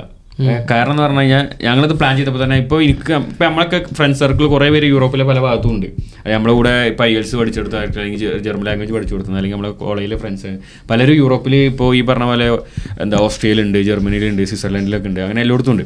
അപ്പോൾ നമ്മളിത് പ്ലാൻ ചെയ്തപ്പോൾ തന്നെ ഈ റൂട്ട് ഇങ്ങനെ വട്ടത്തിൽ വരച്ചപ്പോൾ തന്നെ ഓരോ ദിവസം ഒരു ഫ്രണ്ടിന്റെ വീട്ടിലെത്തും എന്നുള്ള രീതിയിൽ നമ്മൾ പ്ലാൻ ചെയ്ത് തന്നെ. അപ്പോൾ ഞങ്ങൾ ഇവിടുത്തെ ഫസ്റ്റ് പോയി ഹോസ്റ്റലിൽ നിന്നു. അവിടെ നമ്മളെ ഫ്രണ്ട്സ് മൂന്ന് പേര് ഒരു ഹോസ്റ്റലിൽ അവിടെ നിന്ന് പഠിക്കുകയാണ് അവിടെ യൂണിവേഴ്സിറ്റിയിൽ അപ്പോൾ ഞങ്ങൾ അവിടെ രണ്ട് ദിവസം സ്റ്റേ അടിച്ചു. പിന്നെ അത് കഴിഞ്ഞ് ഞങ്ങൾ സ്വിറ്റ്സർലൻഡിൽ പോയപ്പോൾ അവരുടെ ഒരു ഫ്രണ്ട് അവിടെ ഉണ്ടായിരുന്നു. അവരുടെ റൂമിൽ സ്റ്റേ അടിച്ച്. പിന്നെ ജർമ്മനിയിൽ പോയപ്പോഴും അവിടെ എന്റെ ഒരു ക്ലോസ് ഫ്രണ്ട് ഉണ്ട്. അവന്റെ റൂമിൽ സ്റ്റേ അടിച്ച്. അങ്ങനെ ഈ പത്ത് ദിവസവും ഞങ്ങൾ ആരെങ്കിലുമൊക്കെ ഒരു ഫ്രണ്ടിന്റെ വീട്ടിൽ എത്തുന്ന രീതിയിൽ പ്ലാൻ ചെയ്ത്. പിന്നെ അതിലെത്താത്ത ചില സമയങ്ങളിൽ ഞങ്ങൾ ക്യാമ്പ് ചെയ്യുക ചെയ്ത്. ടെന്റ് പിന്നെ ഒരു ദിവസം പിന്നെ ഒരു ദിവസം കാറിലും സ്റ്റേ അടിച്ചു. പറ്റില്ല. മാക്സിമം കുറച്ചിട്ടാണ് എക്സ്പെൻസ് കുറക്കാന്നുള്ള പ്ലാനിൽ തന്നെയാണോ പോയത്? അതോ പക്ഷേ പക്ഷെ ഇതൊക്കെ തന്നെയല്ലേ വൈബ് സ്റ്റൗവും കാര്യങ്ങളൊക്കെ നമ്മൾ കൊണ്ടുവരുന്നത്. രണ്ട് ഈ ചെറിയ സിലിണ്ടർ വെക്കുന്ന ക്യാമ്പിംഗ് സ്റ്റൗ ഉണ്ട്. രണ്ട് ക്യാമ്പിംഗ് സ്റ്റൗവും രണ്ട് ടെന്റും പിന്നെ അതിലെ ലൈറ്റ് കാര്യങ്ങൾ പിന്നെ ഈവൻ ടേബിൾ ആൻഡ് ചെയർ ഡെക്കാത്തലോണില്ല മറ്റേ ചെറിയ ഫോൾഡബിൾ ആയിട്ടുള്ള ടേബിൾ ചെയർ ഒക്കെ ഞങ്ങൾ കൊണ്ടുപോയിട്ടുണ്ടായിരുന്നു പക്ഷെ അവിടുത്തെ രാജ്യങ്ങളിൽ പോയി അവിടുത്തെ ഫുഡൊക്കെ കഴിക്കണം എന്നല്ലേ നല്ല. ഞാൻ ഞങ്ങൾ എവിടെ പോകുമ്പോഴും ഒരു നേരം ലോക്കൽ ഫുഡ് ട്രൈ ചെയ്യാൻ ഞങ്ങൾ എപ്പോഴും പറയുന്ന ഒരു കാര്യമാണ്. ചീസ് ഫോണ്ടിയോ കഴിച്ച് ഓസ്ട്രേലിയയിൽ വീനർ ഷ്നിറ്റ്സൽ കഴിച്ച്. കഴിച്ച്. അപ്പോൾ ലോക്കൽ ഫുഡ് ഒരു നേരം ഞങ്ങൾ ഏത് കൺട്രിയിൽ നിന്നാണോ അവിടുന്ന് അവിടുത്തെ ഒരു മെയിൻ ഡിഷ് ട്രൈ ചെയ്യും. എന്നിട്ട് ബാക്കി നമ്മൾ മാക്സിമം ഫുഡ് കുക്ക് ചെയ്യുക ചെയ്തു. പിന്നെ കുറേ ഇപ്പോൾ പോളണ്ടിൽ കുറേ സാധനങ്ങൾ ചീപ്പ് ആയതുകൊണ്ട് കുറേ ഗ്രോസറികൾ ഇവിടുന്ന് വാങ്ങിപ്പോയിരുന്നു അതിന്റെ ഒരു എക്സാമ്പിൾ പറയുകയാണെങ്കിൽ ഇപ്പോൾ പോളണ്ടിലെ ചിക്കന്റെ റേറ്റിന്റെ സിക്സ് ടൈംസ് ആണ് സ്വിറ്റ്സർലൻഡിലെ ചിക്കന്റെ റേറ്റ് ഞങ്ങൾ സ്വിറ്റ്സർലൻഡിൽ ചിക്കൻ മേടിച്ചിട്ടുണ്ടായിരുന്നു. സിക്സ് ടൈംസ് ആണ് റേറ്റ് അപ്പോൾ ഞങ്ങൾ ചിക്കൻ അല്ലാതെ ഇങ്ങനെ ബ്രെഡ് എഗ്ഗ് അങ്ങനെ കുറച്ച് അരി ബേസിക് സാധനങ്ങളൊക്കെ കുറച്ച് നമ്മൾ ഇവിടുന്ന് മേടിച്ചിട്ടാണ് പോയത്. അങ്ങനെ ഫുൾ പിന്നെ നമ്മൾ സ്വന്തം ഫ്രണ്ടിന്റെ തന്നെ കാറായിരുന്നു അപ്പോൾ ഗ്യാസ് മാത്രം അടിച്ചാൽ മതി. അങ്ങനെ പിന്നെ മലയാളി മലയാളീസ് 40,000 എവിടെ കഴിഞ്ഞാലും നല്ല സ്വഭാവമാണ്. അതായത് നമ്മളെ സ്വീകരിക്കാനും സഹായിക്കാനും എന്ത് ആവശ്യം ഉണ്ടെങ്കിലും കൂടെ നിൽക്കും അതുകൊണ്ട് ഞങ്ങൾക്ക് ആ ട്രിപ്പിൽ പത്ത് ദിവസത്തെ ട്രിപ്പിൽ ശരിക്കും അത് ഫീൽ ചെയ്തതാണ്. നിങ്ങൾ യു എന്റെ ഇതിൽ പോയില്ലേ യു എന്റെ ഹെഡ് ക്വാർട്ടേഴ്സ് പോയി മാത്യു ചേട്ടൻ ഫ്രണ്ട് ആയിരുന്നു? ഡബ്ല്യു എം എഫ് അതെ അപ്പൊ യു എന്റെ ഉള്ളിൽ പോയിട്ട് അവിടെ പുള്ളിയുടെ ഓഫീസ് കണ്ടു. പിന്നെ പുള്ളി കുറെ കാര്യങ്ങൾ അവിടുത്തെ- എക്സ്പ്ലെയിൻ ചെയ്തു അവരുടെ ഫണ്ടും കാര്യങ്ങളും. പുള്ളി ഒരു ഇതിലാണ് ഫണ്ടിന്റെ ഒരു ഇതിലാണ് വർക്ക് ചെയ്യണേ. അപ്പോൾ അതിന്റെ കുറച്ച് കാര്യങ്ങളൊക്കെ പുള്ളി അവിടുത്തെ കാര്യങ്ങളൊക്കെ കാണിച്ചു തന്നു. യു എനിലെ പിന്നെ അവിടെ പ്രൊട്ടസ്റ്റ് നടക്കുന്ന സമയത്ത്. അപ്പോൾ അതിന്റെ കാര്യങ്ങളൊക്കെ കുറെ പുള്ളി എക്സ്പ്ലെയിൻ ചെയ്യുന്നു പുള്ളി നല്ലൊരു നല്ല യു എന്റെ നല്ലൊരു എക്സ്പീരിയൻസ് ആയിരുന്നു. കാരണം എനിക്ക് തോന്നുന്നു പുറത്തുനിന്ന് ആർക്കും അങ്ങനെ യു എനിൽ എപ്പോഴും ടിക്കറ്റ് എടുത്ത് കയറി ചെന്ന് കാണാൻ പറ്റിയ ഒരു സംഭവമല്ല അല്ല ചേട്ടൻ നമുക്ക് അപ്പോൾ പുള്ളി വർക്ക് ചെയ്യുന്നത് കൊണ്ട് നമുക്ക് യു എന്റെ ഉള്ളിൽ ചെന്ന് ഫുള്ള് അതിന്റെ ഫുള്ളൊരു ഒരു ടൂർ പുള്ളി തന്നു. അവിടെ ഈ മീറ്റിങ്സ് നടക്കുന്നതും വലിയ കോൺഫറൻസുകളൊക്കെ നടക്കുമല്ലോ. ഈ പല രാജ്യങ്ങളുടെ കൺട്രീസിന്റെ ഹെഡ്സ് ഒക്കെ വന്നിട്ടുള്ള കോൺഫറൻസും കാര്യങ്ങളും നടക്കുന്നു അതിന്റെയൊക്കെ ഫുൾ ടൂർ പുള്ളി കാണിച്ചു തന്നു. അതെ. ബേസിക്കലി അത് അങ്ങനെ ആർക്കും എത്താൻ പറ്റാത്തൊരു സ്ഥലത്ത് നമുക്ക് എത്തിപ്പെടാൻ പറ്റി എന്നാണ് എനിക്ക് തോന്നുന്നത്. അതിന്റെ ഒരു ഒരു എക്സൈറ്റ്മെന്റ് ഉണ്ടായിരുന്നു നമുക്ക്. അവരൊക്കെ അവിടെ ഫാമിലി ആയിട്ട് തന്നെ സെറ്റിൽ മക്കളൊക്കെ അവരെ മക്കൾ തന്നെ അവിടെ ജനിച്ചു വളർന്ന്. ആ രീതിക്ക് ഇങ്ങനെ സെറ്റിലായി പോവാണ്. ഇപ്പൊ ഇറ്റലിയിലൊക്കെ പോയി കഴിഞ്ഞാൽ ഒരുപാട് ഇങ്ങനത്തെ കമ്മ്യൂണിറ്റീസ് ഉണ്ട്. നമ്മളിപ്പോ പോളണ്ടിലൊന്നും ഇങ്ങനെ മലയാളി കമ്മ്യൂണിറ്റീസ് കുറവ്. അതായത് നമ്മളാണ് ഇങ്ങനെ ഇനീഷ്യലായി വരുന്നുള്ളൂ. ഇനി ഇവിടെ ഇങ്ങനെ സെറ്റിലായിട്ട് ഇങ്ങനെ ജനറേഷൻസ് ആയിട്ട് പോകണം പക്ഷെ ഇറ്റലിയിലൊക്കെ തൊണ്ണൂറുകളിലൊക്കെ പോയ ആൾക്കാരുണ്ട്. അവരൊക്കെ ഫാമിലി ആയിട്ട് അവരവിടെ അവിടെ ഇവിടൊക്കെ മക്കൾ ജനിച്ചു കഴിഞ്ഞാൽ ഇവിടുത്തെ ലോക്കൽ ലാംഗ്വേജ് പറയാം അവിടെ ഇറ്റാലിയൻ പറഞ്ഞു അടിപൊളി നല്ല ഫ്ലുവന്റ് ആയിട്ട് പറയും. ഇറ്റലി ഫ്രാൻസ് ജർമ്മനി ഓസ്ട്രിയ ഒക്കെ ഉണ്ട്. ഓസ്ട്രിയ ഒക്കെ നല്ല മലയാളീസ് ഉണ്ട്. ഓ പോളണ്ടിലൊക്കെ അതാണ്. പോളണ്ടിലൊക്കെ അങ്ങനെ ഒരു മലയാളി സെറ്റിൽമെന്റ് ആയി വരുന്നുള്ളൂ. അത് ഫാമിലി ആയിട്ട് ഇപ്പൊ ഇവിടെ എല്ലാ അധികം ആൾക്കാർ യൂത്ത് ആയിട്ട് വന്നവരോ അല്ലെങ്കിൽ എല്ലാവരും ഇങ്ങനെ വന്ന് എത്തിപ്പെട്ടിട്ടുള്ളൂ. കഴിഞ്ഞ ഒരു അഞ്ചു വർഷത്തായിട്ട്. ഇനി ഇവരൊക്കെ ഫാമിലി വന്ന് ഒരു ഒരു രണ്ട് മൂന്ന് വർഷത്തിനുള്ളിൽ ഒരു ഇവരും അതുപോലൊക്കെ ഒരു ഫാമിലി സെറ്റപ്പ് മാറും. പോളണ്ടിൽ ആരും വരാത്തോണ്ടല്ല. കുറെ മുന്നേ ആളുകൾ വന്നിരുന്നു. 90s പക്ഷെ ആളുകളൊക്കെ പല സ്ഥലത്തേക്കും ഷിഫ്റ്റ് പോളണ്ട് സത്യം പറഞ്ഞാൽ അത്രക്കും ഒരു അട്രാക്റ്റീവ് ഡെസ്റ്റിനേഷൻ അല്ലായിരുന്നു ഇത്രയും കാലം. പക്ഷെ ഇപ്പൊ അതങ്ങനെ മാറി വരുന്നുണ്ട്. ഇപ്പൊ ഞങ്ങളൊന്ന് വന്ന ടൈമിൽ പോളണ്ട് ഞങ്ങളെ മനസ്സിൽ ഞങ്ങളൊക്കെ ഇവിടെ എത്തിപ്പെട്ടത് വലിയ കഥയാണ്. അതായത് ഞങ്ങൾ ഇങ്ങോട്ടൊന്നല്ല ടാർഗറ്റ് ചെയ്തത്. പക്ഷെ നിവർത്തികേട് കൊണ്ട് എത്തിയതാണ്. ഞങ്ങൾ ജർമ്മനി ആയിരുന്നു. കാനഡ യു കെ ഒക്കെ ഓപ്ഷൻസ് ഉണ്ടായിരുന്നു. പിന്നെ ജർമ്മനി ആയി അങ്ങനെ അവസാനം പോളണ്ടിലെത്തി. അപ്പോഴും ഞങ്ങളെ മനസ്സിൽ ഇങ്ങോട്ടൊക്കെ ആരെങ്കിലും പോകുമോ അങ്ങനത്തെ ഒക്കെ മൈൻഡ് ആയിരുന്നു. പിന്നെ ഇവിടെ എത്തി കഴിഞ്ഞപ്പോ എത്തി കഴിഞ്ഞപ്പോ അടിപൊളിയായി. അത് പറയാം നമുക്ക് ഞങ്ങൾ വന്ന സമയത്ത് ഞങ്ങൾക്ക് കുഴപ്പമില്ലാത്ത ജോലിയും കാര്യങ്ങളൊക്കെ കിട്ടിയപ്പോൾ ഞങ്ങൾ ഭയങ്കര ഹാപ്പിയായി. ഇപ്പോൾ അത്യാവശ്യം കുഴപ്പമില്ലാത്ത ജോലിയും കാര്യങ്ങളും ഇല്ലതുകൊണ്ട് നമ്മൾ ഓക്കെയാണ്. നമ്മളെ മനസ്സിലാക്കി ഇങ്ങോട്ട് വരുന്ന ആൾക്കാർക്ക് തന്നെ നല്ല രീതിക്ക് ഇപ്പോൾ നല്ല രീതിക്ക് തന്നെ അതിന്റെ പബ്ലിസിറ്റിയും കാര്യങ്ങളൊക്കെ ചെയ്തുകൊണ്ട് ആൾക്കാർ മനസ്സിലാക്കുന്നുണ്ട്. ഇപ്പോൾ ഒരു അട്രാക്റ്റീവ് ഡെസ്റ്റിനേഷനായി മാറിയിട്ടുണ്ട്. ഇപ്പോൾ ജോബ് ഓപ്പർച്യൂണിറ്റീസും കാര്യങ്ങളൊക്കെ നോക്കുകയാണ് കാരണം ഇപ്പോൾ ബാക്കി യു കെ അതുപോലെ ജർമ്മനി നോക്കുകയാണ് ഞാൻ കഴിഞ്ഞ എപ്പിസോഡിൽ പറഞ്ഞിരുന്നു നമുക്കൊരു ഫുൾ ടൈം ജോബ് അവിടെ ചെയ്യാൻ അത്ര എളുപ്പമല്ല. പഠിച്ചുകൊണ്ടിരിക്കുന്ന ടൈമിൽ തന്നെ. അത് പോളത്തെ വലിയൊരു അഡ്വാന്റേജ് ആണ്. അതുകൊണ്ട് സ്റ്റുഡന്റ് ആയിരിക്കെ ഒരു ഫുൾ ടൈം ജോബിൽ കയറിയിട്ട് കണ്ടിന്യൂ ചെയ്യാൻ പറ്റുന്ന ഒരു ഓപ്പർച്യൂണിറ്റി ഇനി നിഷിൻ നിഷിന് തക്കുവിന്റെ കഴിഞ്ഞിട്ടില്ല. ഇപ്പൊ ഇവിടെ വർക്ക് ചെയ്യണം? അങ്ങനത്തെ കാര്യത്തിൽ. പറഞ്ഞല്ലോ. പിന്നെ നിഷിനെ നിഷിനെ എവിടുന്നാ തുടങ്ങുന്നത് ഇല്ല ഞാൻ ഇവിടുന്ന് തുടങ്ങി ഞാൻ ഇവിടുന്ന് ബാക്ക് പോകണമെന്ന് ഈ പകുതി പറഞ്ഞ പതിൽ കാര്യം അല്ല ഒന്നാമെന്ന് വെച്ചാൽ ഫാരിസ് ഞാൻ ഞാൻ പറഞ്ഞു ടൂ തൗസൻഡ് ഫിഫ്റ്റീൻ തൊട്ട് ഞങ്ങൾ ഒരുമിച്ചുള്ളതാണ് സെയിമാണ് നിഷിന്റെ- profile ആണ്. സെയിം ആണ്. നിഷിന്റെ അമ്മ ഇപ്പം ടീച്ചേഴ്സ് ആണോ? ആ ഉമ്മ ഇപ്പം ടീച്ചേഴ്സാണ് ആ. നാട്ടിൽ തന്നെ സ്കൂളിലാണ് പഠിപ്പിക്കുന്നത് പിന്നെ ഞാൻ പക്ഷേ ഒരു സ്കൂളിലല്ല പഠിച്ചത്. ഞാൻ വേറെ ഞാൻ ഞാൻ ഇംഗ്ലീഷ് മീഡിയത്തിലാണ് പഠിച്ചത്. അപ്പോൾ ഫിഫ്ത്ത് വരെ ഒരു സ്കൂളിലായിരുന്നു നാട്ടിൽ തന്നെയുള്ള. പിന്നെ ടെൻത്ത് വരെ നാട്ടിൽ നിന്ന് കുറച്ച് അപ്പുറമുള്ള വേറെ സ്കൂളിൽ പോയി പഠിച്ചു. പ്ലസ് വൺ പ്ലസ് ടു ഞാൻ പഠിച്ചത് മഞ്ചേരിയാണ്. Manjeri Pookkolathur P M H S S എന്ന് പറയും. അവിടെ പഠിച്ചു പ്ലസ് വൺ പ്ലസ് ടു പിന്നെ പ്ലസ് ടുവിന് ശേഷം വൺ ഇയർ ഞാൻ റിപ്പീറ്റ് ചെയ്തു. പിന്നെ ടൂ തൗസൻഡ് ഫിഫ്റ്റീനിലാണ് ഞാൻ കോളേജ് ജോയിൻ ചെയ്യണേ. കോളേജ് ചെയ്യുന്നതിനും ഫാരിസിനെ കണ്ടുപിട്ടു പിന്നെ അവിടുന്ന് ശേഷം ഞാൻ പറഞ്ഞില്ല ഈ പറഞ്ഞ സ്റ്റോറീസ് ഒക്കെ എല്ലാം സെയിം ആണ്. അത് സ്റ്റോക്ക് മാർക്കറ്റ് പഠിച്ചതുകൊണ്ട് എന്താ ഐ എൽസിന് പോയത് തൊട്ട് ജർമ്മൻ ലാംഗ്വേജ് പഠിച്ചത് തൊട്ട് എല്ലാം ഒരുമിച്ചായിരുന്നു. ഇപ്പോൾ പോഡ്കാസ്റ്റ് ചെയ്യുന്നത് വരെ. അല്ല. നിഷിന് ഭാഷ വേറെ ഇൻവെസ്റ്റ്മെന്റ്സും കാര്യങ്ങളൊക്കെ വേറെ അല്ലേ ഇൻവെസ്റ്റ്മെന്റ്സ് എനിക്ക് ഒരു ഇൻവെസ്റ്റ്മെന്റ് ഉള്ളത് ഒന്ന് നമ്മളൊരു ഫ്രണ്ടിന്റെ തന്നെ സ്പേസ് സേവിങ് ഫർണിച്ചറിന്റെ ഒരു ഇതിൽ ചെറിയ ഇൻവെസ്റ്റ്മെന്റ് ഉണ്ട്. അത് ഞങ്ങൾക്ക് ഒരുമിച്ചാണ്. ആ മറ്റേ ഫർണിച്ചറിന്റെ അതിൽ പാരിസ് ഉണ്ടോ? ഞാൻ കണ്ടിട്ടുണ്ട്. അപ്പോൾ അത് പെരിന്തൽമണ്ണയിലെ ഒരു സ്ഥാപനമാണ് അപ്പോൾ അത് നമ്മുടെ ഫ്രണ്ടിന്റെ ആണ് അവൻ അത്യാവശ്യം അതിലൊരു പെർസെന്റേജ് നിങ്ങൾ ചെറിയ പെർസെന്റേജ് നമുക്കുണ്ട്. ഓക്കെ. അങ്ങനെ. പിന്നെ ഇൻവെസ്റ്റ്മെന്റ് പിന്നെ സ്റ്റോക്ക് മാർക്കറ്റിൽ ഇൻവെസ്റ്റ്മെന്റ് ഉണ്ട് ബേസിക്കലി അത് ഞാൻ പറഞ്ഞ ഞങ്ങൾ ഒരുമിച്ച് തുടങ്ങിയതാണ്. ഞാൻ പറഞ്ഞില്ലേ ഫസ്റ്റ് രണ്ടാളും പോർട്ട്ഫോളിയോ ഓൾമോസ്റ്റ് സെയിം ആണോ? അല്ല. ഞാൻ കൂടുതൽ ട്രേഡിംഗ് ഫോക്കസ്ഡ് ആണ്. എനിക്ക് ഇൻവെസ്റ്റ്മെന്റ് കുറച്ചുകൂടി കുറവാണ്. ഞാൻ കൂടുതലും ലൈക്ക് ഇൻവെസ്റ്റ്മെന്റ് ആണ്. ഇപ്പൊ ഞാൻ അങ്ങനെ ട്രേഡിംഗ് പറഞ്ഞിട്ട് ആക്റ്റീവ് ട്രേഡിംഗ് ട്രേഡിംഗ് ചെയ്യില്ല ഞാൻ സ്വിംഗ് ട്രേഡ് എടുക്കുന്നല്ലാതെ നല്ല ലോങ് ടൈം ഇൻവെസ്റ്റ്മെന്റ് ആണ് കൂടുതൽ പിന്നെ പിന്നെന്താ? പിന്നെ യെസ് ഞാൻ ഇവിടെ വന്നതിന് ശേഷമുള്ള കാര്യങ്ങൾ പറയാം. ഞാൻ നാട്ടിൽ അതേമാതിരി എന്താ ഞങ്ങൾ ജർമ്മനി നോക്കി. ഞാൻ നാട്ടിൽ കോളേജ് കഴിഞ്ഞിട്ട് ഞാൻ ബൈജൂസിൽ വർക്ക് ചെയ്തു കുറച്ചു കാലം. അതിന് ശേഷം പിന്നെ ഒരു ഐ എൽ ട്യൂട്ടറായിട്ട് ഒരു രണ്ട് മൂന്ന് മാസം വർക്ക് ചെയ്തു. അങ്ങനെ ബൈജൂസിൽ നിൽക്കുന്ന സമയത്ത് ആ സമയം ഫസ്റ്റ് ഞങ്ങൾ ബേസിക്കലി ഖത്തറിലൊരു യൂണിവേഴ്സിറ്റിക്ക് അപ്ലൈ ചെയ്തു. അവിടെ നിന്നാണ് ഇതിന്റെയൊക്കെ തുടക്കം കാരണം അന്ന് നമ്മളെ പ്ലാനിൽ അബ്രോഡ് സ്റ്റഡീസ് ഒന്നുമില്ല അന്ന് നമ്മളെ പ്ലാനിൽ വേൾഡ് കപ്പ് കാണാൻ ഖത്തറിൽ എത്തുക എന്നുള്ളൊരു പ്ലാനായിരുന്നു അത് ടൂ തൗസൻഡ് നയന്റീനിൽ പാസ് ഔട്ട് ട്വന്റി ടൂവിൽ world cup twenty two twenty three twenty two അല്ലേ? ട്വന്റി ടൂവിൽ വേൾഡ് കപ്പ് അപ്പോൾ രണ്ട് വർഷമുണ്ട്. അപ്പോൾ ടൂ തൗസൻഡ് നയന്റീനിൽ ഞങ്ങൾക്ക് ഖത്തറിൽ ഈ ഹമദ് ബിൻ ഖലീഫ യൂണിവേഴ്സിറ്റിയിൽ അഡ്മിഷൻ കിട്ടിയാൽ രണ്ട് വർഷം മാസ്റ്റേഴ്സ് മാസ്റ്റേഴ്സ് കഴിഞ്ഞ ഒരു ജോലിക്ക് കയറുമ്പോഴത്തേന് വേൾഡ് കപ്പ് പൈസ ഉണ്ടാവും സ്വാഭാവികമായിട്ടും ജോലിയൊക്കെ ചെയ്യുമ്പോൾ വേൾഡ് കപ്പ് കാണാം ആ ഒരു മൈൻഡിലാണ് ഈ അബ്രോഡ് സ്റ്റഡീസിനെ നമ്മൾ കാണുന്നത്. അങ്ങനെ ഖലീഫ് ആ യൂണിവേഴ്സിറ്റിയിൽ അപ്ലൈ ചെയ്തു നമുക്ക് റിജക്ഷൻ ആയി.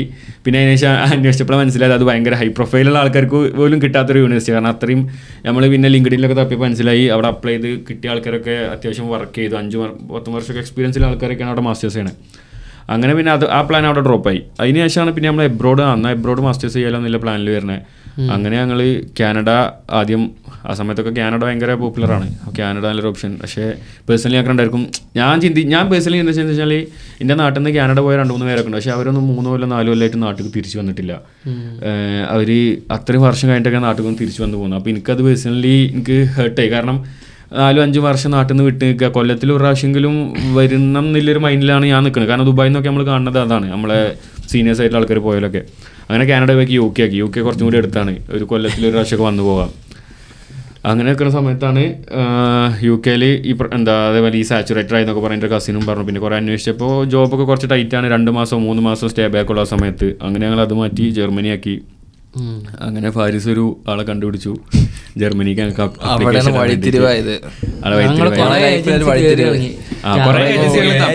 ഏറ്റവും സെയിൽസ് സ്കിൽ ഉണ്ടായിരുന്ന ഒരാളായിരുന്നേ.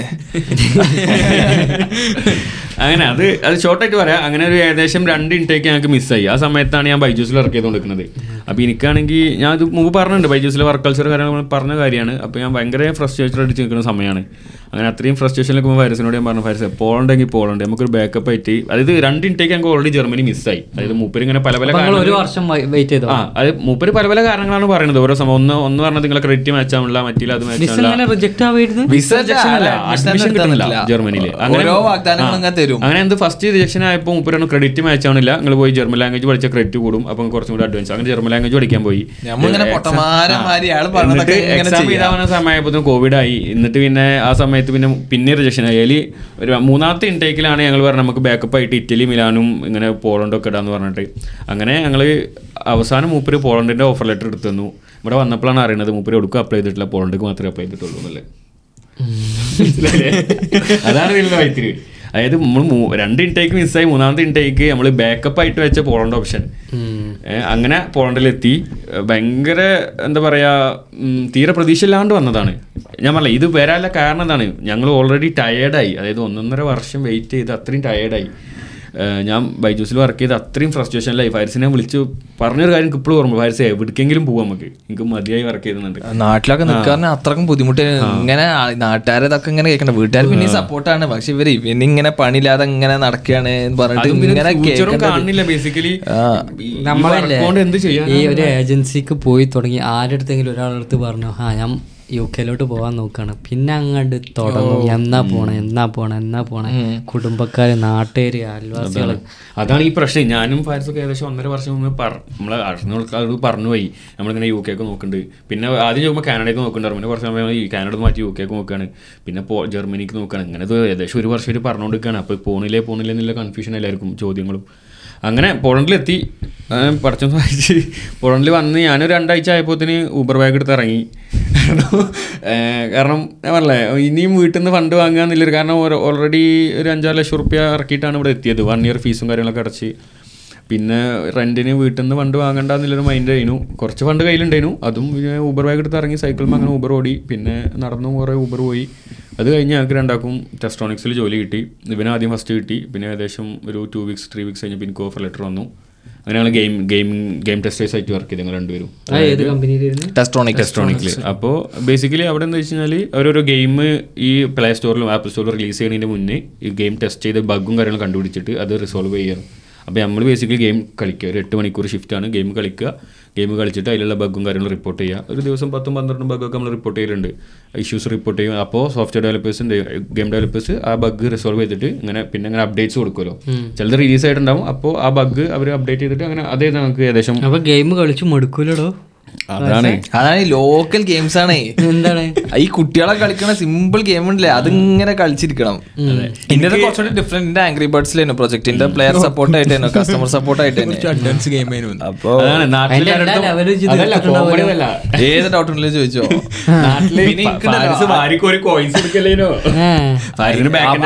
അവിടെ വർക്ക് ചെയ്തപ്പോഴാണ് ഞാൻ കണ്ടത് ഓരോരുത്തർ ചെലവാക്കണ പൈസ വൺ ഹൺഡ്രഡ് തൗസൻഡ് ഡോളേഴ്സ് ഒക്കെയാണ് ഇൻ ഗെയിം പെർച്ചേസസ് ചെയ്യണം അപ്പോൾ നമ്മൾ വിചാരിക്കും ഇതൊക്കെ ലോക്കൽ ഗെയിംസ് ആണല്ലോ എന്ന്. പക്ഷെ ഇതിനുവേണ്ടി ഇതിനു വേണ്ടി പൈസ ചെലവാക്കണ ആൾക്കാരുണ്ട്. എനിക്ക് വേണമെങ്കിൽ 100,000 dollars ഓ? ഒരാൾ. ക്രേസിയാണ് ടോട്ടലാ like like over life time ചെലവാക്കിയ amount ഞാൻ പറയുന്നത് കോയിൻസ് വാങ്ങിട്ട് ഓരോ. കിട്ടിയാൽ റെഡീം ചെയ്യാൻ പറ്റുമോ ഇങ്ങനെ? ഈ കോയിൻസ് ക്യാഷ് വന്നിട്ട് ഇൻ ഗെയിം കോയിൻസ് നമ്മൾ redeem ചെയ്യാൻ പറ്റില്ല. അത് ഓൽക്ക് ഇപ്പോ സ്കിന്ന് വാങ്ങണം അല്ലെങ്കിൽ ഈ ഇതിന്റെ സ്കില്ല് കൂട്ടണം എന്നൊക്കെ ഉണ്ടെങ്കിൽ നമുക്ക് പൈസ കൊടുത്തിട്ട് അത് കൂട്ടാലോ.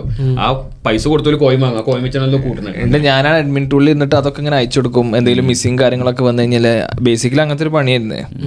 അല്ല എന്നിട്ട് അങ്ങനെ പക്ഷേ ഇൻട്രസ്റ്റിംഗ് ഗെയിംസ് ഉണ്ടായിട്ടുണ്ട് കേട്ടോ എനിക്കൊക്കെ ഞാൻ ഒരു പ്രൊജക്റ്റിലൊക്കെ ഇൻട്രസ്റ്റിംഗ് ഗെയിംസ് ഞാൻ ഷൂട്ടിംഗ് ഗെയിം ഒക്കെ കളിച്ചിട്ടുണ്ട്.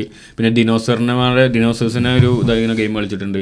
പിന്നെ ഒരു ഗെയിം ഒരു ഓട്ടിസം വായിച്ച കുട്ടികൾക്ക് അവരുടെ മെന്റൽ ഡെവലപ്മെന്റിന് വേണ്ടിയിട്ടുള്ള ഗെയിം കളിച്ചിട്ടുണ്ട്. അങ്ങനെ കളി അതിലൊക്കെ കളിച്ചിട്ട് അതിന്റെ ബഗ് റിപ്പോർട്ട് ചെയ്യാന്നുള്ളതായിരുന്നു പിന്നെ ഏകദേശം അതൊരു മൂന്ന് മാസം വർക്ക് ചെയ്ത് തുടങ്ങിയപ്പോൾ തന്നെ ഞങ്ങൾക്ക് മറ്റൊരു എം എൻ സിയിൽ ആമസോണിൽ ജോലി കിട്ടിയത്. അങ്ങനെ ഞങ്ങൾ ആമസോണിലും ഇതിലും കൂടിയും ഒരുമിച്ച് വർക്ക് ചെയ്തുകൊണ്ടിരിക്കുകയായിരുന്നു ആമസോണിൽ എന്തെങ്കിലും പൊസിഷൻ ക്വാളിറ്റി അഷുറൻസ് അസോസിയേറ്റ്. കംപ്ലൈൻസിൽ ഞങ്ങൾ മൂന്നാളും ചെയ്ത പണിയായിരുന്നു. തുടക്കത്തിൽ പത്ത് നാല്പത് മലയാളീസ് നമ്മളുണ്ട് നമ്മളൊരു സർക്കിൾ എല്ലാവരും ആമസോണിൽ എല്ലാവരും ആമസോണിലെ നമുക്കൊരു ഗ്രൂപ്പ് ഒക്കെ ഉണ്ടായി. ഞങ്ങൾ അല്ലെങ്കിൽ ചാറ്റ് ചെയ്ത്. വർക്ക് നല്ല കുഴപ്പമില്ല. അത്ര സ്ട്രെസ്സിംഗ് ഒന്നും അല്ലേനു സിമ്പിൾ ആയിട്ട് വർക്ക് ക്ലാസ്സസ് ക്ലാസ്സസിന്റെ കൂടെ നമുക്ക് ജോലിയായിരുന്നു ആ ടൈമിൽ ഞങ്ങൾ രണ്ട് ഫുൾ ടൈം ജോബ് ചെയ്തിരുന്ന ടൈം ഉണ്ടായിരുന്നു. ഞാൻ നിഷിനും. അത് പറഞ്ഞു ഇതൊന്നും ഞങ്ങൾ ഇവിടെ പ്രതീക്ഷിച്ച് വന്നതല്ല? ഞങ്ങൾ വരുമ്പോൾ യു കെയിലും കാനഡ എല്ലായിടത്തും ഹവർലി ട്വന്റി അവേഴ്സ് ആണ് വർക്ക് ലിമിറ്റ് ഉള്ളത്. അല്ല ഹവർലി അല്ല സോറി വീക്കിലി ട്വന്റി അവേഴ്സ് ആണ് ഒരു സ്റ്റുഡന്റിന് വർക്ക് ചെയ്യാൻ പറ്റുള്ളൂ. പക്ഷെ ഇവിടെ വന്നതിന് ശേഷം ഞങ്ങൾ അറിയുന്നത് ഇവിടെ അങ്ങനത്തെ ലിമിറ്റ് ഇല്ല എത്ര വർക്ക് ചെയ്യാന്നുള്ളത് അപ്പോൾ സ്വാഭാവികമായിട്ട് ഞങ്ങൾ ചിന്തിച്ചപ്പോൾ എന്താ ഞങ്ങൾക്ക് ക്ലാസ് ഓൺലൈനാണ് അപ്പോൾ class online online class attend ചെയ്യും. ഒപ്പം ഈ രണ്ട് ജോലിയും ചെയ്യും. അതായത് ടെസ്റ്റ് ഓണിക്ക് എനിക്ക് കൂടുതലും ലൈറ്റ് ഷിഫ്റ്റ് വന്നിന്. ഉച്ചയ്ക്ക് രണ്ട് മണിക്കോ മൂന്ന് മണിക്കോ തൊട്ട് രാത്രി പത്ത് മണി വരെ അങ്ങനെ. മറ്റേത് ആമസോൺ രാവിലെ ഒമ്പതിന് തൊട്ടിട്ട് ഒരു മൂന്ന് മണി വരെ കളിയും അപ്പോൾ ഞാൻ അതൊക്കെ ബാലൻസ് ചെയ്ത് അങ്ങനെ രണ്ട് ജോലി അങ്ങനെ കൊണ്ടുപോയിട്ടുണ്ട്.